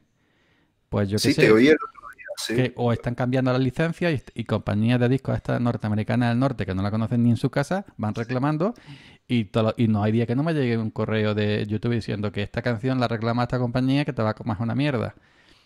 no, debe de ser que están relicenciando algunos, algunas obras. Por eso ahora salgo a pelo, no pongo música, que licencie mi voz. Perfecto. Te doy un consejo, utiliza la música que viene en YouTube. Si vas a publicar un vídeo de YouTube, la es, de es lo que estoy, es lo que estoy haciendo, es lo que estoy haciendo últimamente. Pero por ejemplo, yo bajo mucho música que también lo he mostrado en mis vídeos de filmmusic.io, que mucha música de la que viene en YouTube la librería interna también es de filmmusic.io. Vale, perfecto. Hemos dicho un disco, eh, Pink Floyd, ¿no? Una canción en concreta. Bohemian Rhapsody. Ah, de Freddie Mercury. Desde que tenía 10 añitos, sí. Me estoy delatando, pero desde que tenía 10 añitos que es mi, es mi locura. Es una obra maestra absoluta. Yo siempre he dicho que la mejor canción del mundo era eh, Hotel California de los Eagles. Buena. Yo la escucho y me, y me derrito. No, y no solamente por los 40 grados que hace aquí, pero la escucho y me derrito. La música sureña, americana, eh, sencilla, eh, no sé, es que tiene, tiene una magia tremenda. Te podría decir, hombre, vamos a ver, ahí siempre es muy inspiradora. Te podría hablar de, no sé, de- bueno, pero entraríamos en otras cuestiones. No, Venga, no, tú dale, no tú dale. Sí, sí. Bueno, una serie de televisión. Soy poco de tele, ¿eh? Te voy a dar una, venga, va. El coche Mm, fantástico. Battlestar Galáctica, Galáctica Estrella de Combate. Yo a mí eso. Pero bueno. Ya lo sé. Yo- a mí la ciencia ficción... eh, No, sí, pero yo es que me quedé en MacGyver, coche fantástico, el equipo A, y ya, después fui fuera de ahí ya. los lagartos de los visitantes, los lagartos. Eso era eso es tremendo. Eh, ¿Qué hemos dicho más por aquí? Eh, mm, ¿Una película? Es complicado. Ahí es muy difícil. Te voy a decir dos. Y muy diferentes. Casablanca Hostia, clásica. y, y Blade Runner. Ay. Pues con Blade Runner tengo yo un conflicto. ¿Sí? ¿Por? Porque todo el mundo es un. Es, es ¿No llevan software libre los, los androides? que porque sueñan los androides con ovejas eléctricas, no era algo parecido a eso. Que eh, yo, Blade Runner, y- pido disculpas de antemano por si algo, la considero un tostón muy lenta, y lo único que me gusta de Blade Runner es la escena de como lágrimas en la lluvia. Y, nu- y nunca la he podido, nunca la he podido ver Sí. con esa mm, doblaje de Constantino Romero, que eso te, te, te eriza la piel. Tienes que verla muchas veces. Pero Mm, que- Es una... Que yo no la he conseguido nunca ver entera porque mm, la veo muy lenta, no sé, me aburro. eh, eh, eh, Pues, pues espérate, la secuela que han hecho... no la he visto. mm, Bueno, pues te podría decir que va a la mitad de velocidad. Más lento todavía. Solo te lo dejo. Sí. Sí. No sé, Blade Runner es, es que está llena, es como las películas enfermizas de Stanley Kubrick, que están cada, mm, cada pequeño metraje está lleno de detalles que son importantes y que con el tiempo se va descubriendo que quieren decir otras cosas. Eh, Blade Runner está llena de símbolos, completamente llena de símbolos. Mm. Pues, y ahora te voy a poner un compromiso. ¿Y si fuera una película española? No me diga una de Andrés Para y, y Esteso porque... piqueros o algo de eso, ¿no? Eh, eh, mm, me gusta mucho Fesser, pero bueno, te voy a decir una Amanece que no es poco. ¡Ay! ¡Qué maravilla! Esa, en, en un principio nadie y, y con los años se convirtió en, en, en un Sí, en película de culto, sí. en película sí. de culto. Es tremenda, es tremenda. Sí, sí. A los amanecistas se llaman a Anarquista. los que están ahí siguiendo continuamente comentando cosas. Sí, la he visto. Y la vi ya, y, y la vi cuando tenía internet, que me la bajé en punto AVI, cuando se bajaban las cosas en el mule todo eso en punto Sí. AVI y todas esas cosas. En div, en div, DVX, sí. Sí, sí, sí, sí, Yo mm, voy a decir, eh, a mí me encantan Los Santos Inocentes porque es una España que yo viví. Bueno, muy y buena. ahí Paco Raval y Alfredo Landa. La de los santos inocentes es, es demoledora. Sí, sí. Es descarnada. Sí, sí. Totalmente. Eh, mm, bueno, ahora vamos con unas preguntas un poquito más comprometidas. Estas han sido de cultura general, ahora vamos más comprometidas, que también mojate. Un blog de Linux, de los actuales, los que siguen vivos. ¿Blog o web de Linux? Hay algunos cuantos. Pues mira, mm, y te lo digo sinceramente, Salmorejo Geek. Ay. No, di- digo, se va a tirar, no sé, por otro, pero bueno. No, no, no, hombre, vamos a ver, yo, yo siempre te lo he dicho, tú me infundiste el amor por este, por este sistema operativo y me ha encantado mucho tu forma de comunicar y eres una persona muy sensata comunicando y a mí me gusta, me gusta. Te podría decir otros, hay otros más técnicos, otros más... eh, lo que no me gusta es la confrontación por la confrontación y eso es algo que tú siempre has subido de ello. Entonces, prefiero estar informado y estar informado a nivel de usuario como, como, como es mi estatus. Entonces me encanta. Eh, un podcast de los actuales. Un podcast de nuestro mundillo, sí. sí. De nuestro mundillo. Vale. Eh, nada, Juanito, hombre. Juanito, Juan Febles. Ahí estoy contigo. Juanito y Paco Estrada. Sí, claro, claro. Es otro, es que es otro nivel. Otro, nivel. es, otra cosa. Yo se lo digo diario en nuestro grupo Kila Radio, y Juanito y, con mi respeto a los demás, que hay gente que lo hace muy bien. Me han dicho con tal yo, yo también hace podcast muy buenos, pero bueno, que, que, que, el rasgo de profesionalidad que le dan, claro. el trabajo que lleva eso, mm, y además es que Juanito es que es un comunicador de primera línea, es que es el tipo... Yo siempre se lo he dicho, digo, tienes que hacer ASMR, tienes que comer cosas así cerca del micrófono para, porque es que a mí me tranquiliza. Yo, yo, yo, no sé, yo soy una persona muy nerviosa. A mí me encanta. Yo cuando, cuando lo descubrí que estaba en Blogspot, eh, contacté con él rápidamente y lo invité también a audio, hablé de, de mi blog.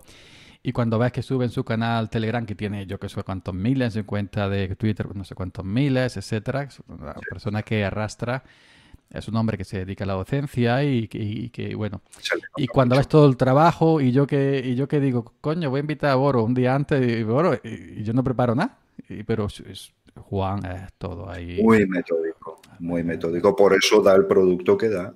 Es, enorme. El trabajo que lleva, que lleva Juan es enorme. Lo que pasa es que, claro, al final recuerdo que estaba escuchando un audio suyo en el que, bueno, tenía ciertos problemas para periodicidades tan cortas de, programas, pero claro, es que el trabajo que llevan es, enorme. Yo en un momento se lo dije con el tema de Maratón Linuxero. Qué que tenía te voy a dar un paso, paso atrás. ¿Te acuerdas de aquel maratón que duró, ¿cuánto fueron? ¿8, 9, 10 horas? ¿12? No me acuerdo. Sí, yo... estuve invitado yo 12 horas. Y yo también estuve invitado. Sí, sí, sí. sí, sí. he estado invitado en varios, pero ese trabajo es que mm, es demasiado. Creo que no es necesario para comunicar tanto. Y al final son gigantes que se vuelven muy difíciles de manejar. Y no sé, no sé. Yo creo que eso es más propio para, para empresas, para, para gente que, tiene un equipo de personas trabajando, pero sabes que en todos los grupos humanos al final siempre surgen problemas. Y, cuando lo das de manera, cuando lo das por compartir, de manera desinteresada, y luego ves que no, que, que, no hay eh, FIBA de vuelta o que encima te, te insulta. Como lo está, a mí me encanta, como lo está haciendo ahora con Jitsi y todo esto, a mí me gusta. Creo que es el paso que tenía que Es un máquina, un máquina máquinas. Yo, yo de lo de Jack de, y de, de, Paco Estrada, que es un máster de los máster, y de, y de, Juan Fablas y de nuestro compañero también Ricardo Espinosa por México. Nuestro también tenemos al amigo Matías, que es locutor de radio profesional ahí en Uruguay. En fin, que tenemos un grupito. Pero que, que, que yo, como lo hace esta gente, yo me quedo asombrado. Sí, es que por eso son buenos y por eso son únicos. Son gente que, lo hace, tiene un gusto diferente por, hacer las cosas. Desde luego, fíjate, yo con mi filosofía de vida nunca haría algo parecido, aunque supiera. ¿Por qué? Pues porque yo soy más del contenido, no tanto del continente pero hay que reconocer que hay mucha gente que le gusta tener su musiquita, su entrada, su desarrollo, su índice. Yo sería incapaz de hacer eso. Yo soy muy caótico trabajando. y yo, sería incapaz. Y yo muy vago. Fíjate que en el podcast que hago hablo de dos, tres cosas y lo empaqueto todo junto y lo subo. Y a, le gusta. Pues oye, pues venga, adelante. Pero no me voy a calentar mucho más la cabeza. Que sí, que hay mucha gente que te sigue por lo que cuentas, ¿no? Por, por los uh, añadidos. Que se, que se puede... Yo conozco podcasters que tienen miles y miles y miles de descargas, arrancan el móvil, graban y paran. Y no tienen ni, ni cabecera, ni tienen ni, ni, ni, ni cortes musicales, ni tienen efectos. Totalmente. Pero tienen una gracia tremenda para comunicar. Y yo no tengo ese, ese don, ni mucho menos.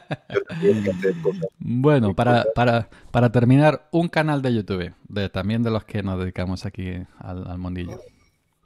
Pues mira, uno de ciencia y es de un chaval eh, sudamericano que hace un trabajo fantástico que se llama Robotitus. No conozco. Tiene dos, tres canales. Tiene el robot de Platón, Robotitus, etc. Tiene una manera muy, muy graciosa de comunicar la ciencia. Y, yo he aprendido muchas cosas. La ciencia es una de mis pasiones. Y desde luego mm, es que cualquiera puede comprender lo que quiere transmitir. Es, es muy bueno. Muy, muy bueno. Y es muy sencillo, ¿eh? El tío tiene su entradita, graba sus cosas con una webcam, como hago yo, y cuenta sus cosas, pone unas cuantas imágenes, pero tiene un montón de seguidores. O sea, el tío tiene un montón de seguidores, pero me gusta mucho, sí. Y te voy a decir otro y sin duda, eh, el trabajo que hace Mario. Mario es un showman puro. Sí, es que debería dedicarse muy en serio a eso. Yo siempre lo he dicho. Esa forma, e, e, esa forma de, enamorar a la cámara que lo mira a los ojos directamente. Que yo soy incapaz de mirar a la cámara como está viendo. Yo soy incapaz de mirar a la webcam. Me da mucho corte, me da mucho palo. Pero Mario, como mira la cámara y como edita los vídeos, yo tengo la suerte de... tengo la suerte de, disfrutarlo en cosas modernos, que ah, llevamos unos cuantos meses sin grabar. Pero que Mario y sabe de Linux, y sabe de tecnología. Tipo muy ilustrado y que creo que te puede hablar de muchos temas. Eh, es un tipo muy interesante, sí. Sin duda, a mí Mario me encanta, pero claro, tú fíjate lo que cabe en YouTube, decirte uno solo es complicado. Te voy a decir estos dos, uno de ciencia y otro de variedades, digamos. Muy bien, pues simplemente ya para cerrar, te voy a comentar que si te quieres mostrar en el escaparate, decir dónde estás, tu método de contacto, dónde te pueden ver, dónde te pueden seguir, etcétera, etcétera, etcétera. Vale, mira, eh, eh, mi canal de YouTube es BoroMV. Ya te digo que soy muy predecible. Lo, lo he enseñado antes en el navegador, así que lo van a ver también. lo dejaré en la descripción del vídeo. Muy bien. Tengo un podcast en el que hablo de cosas que durante el día me llaman la atención, dos, tres, cuatro temas como mm. máximo, que es Boro-MV. me mandas luego por Telegram todos los enlaces tuyos que lo dejé en la casa de descripción. Una web de motos, Boron Moto, en la que hay relatos, pues, eh, eh, artículos técnicos, de análisis, de competición, etcétera, etcétera que eh, lo he dicho, sí, Borón Moto, y luego el trabajo en la asociación, el trabajo en GNU Linux Valencia, que es eh, maravilloso y en el que podéis conocer a gente fantástica. Mm. Ahí está, muy, muy bien ese punto. Además, ahí también está el amigo José GDF, ¿no? es un chaval muy majo. es un tipo qué grande. entrañable.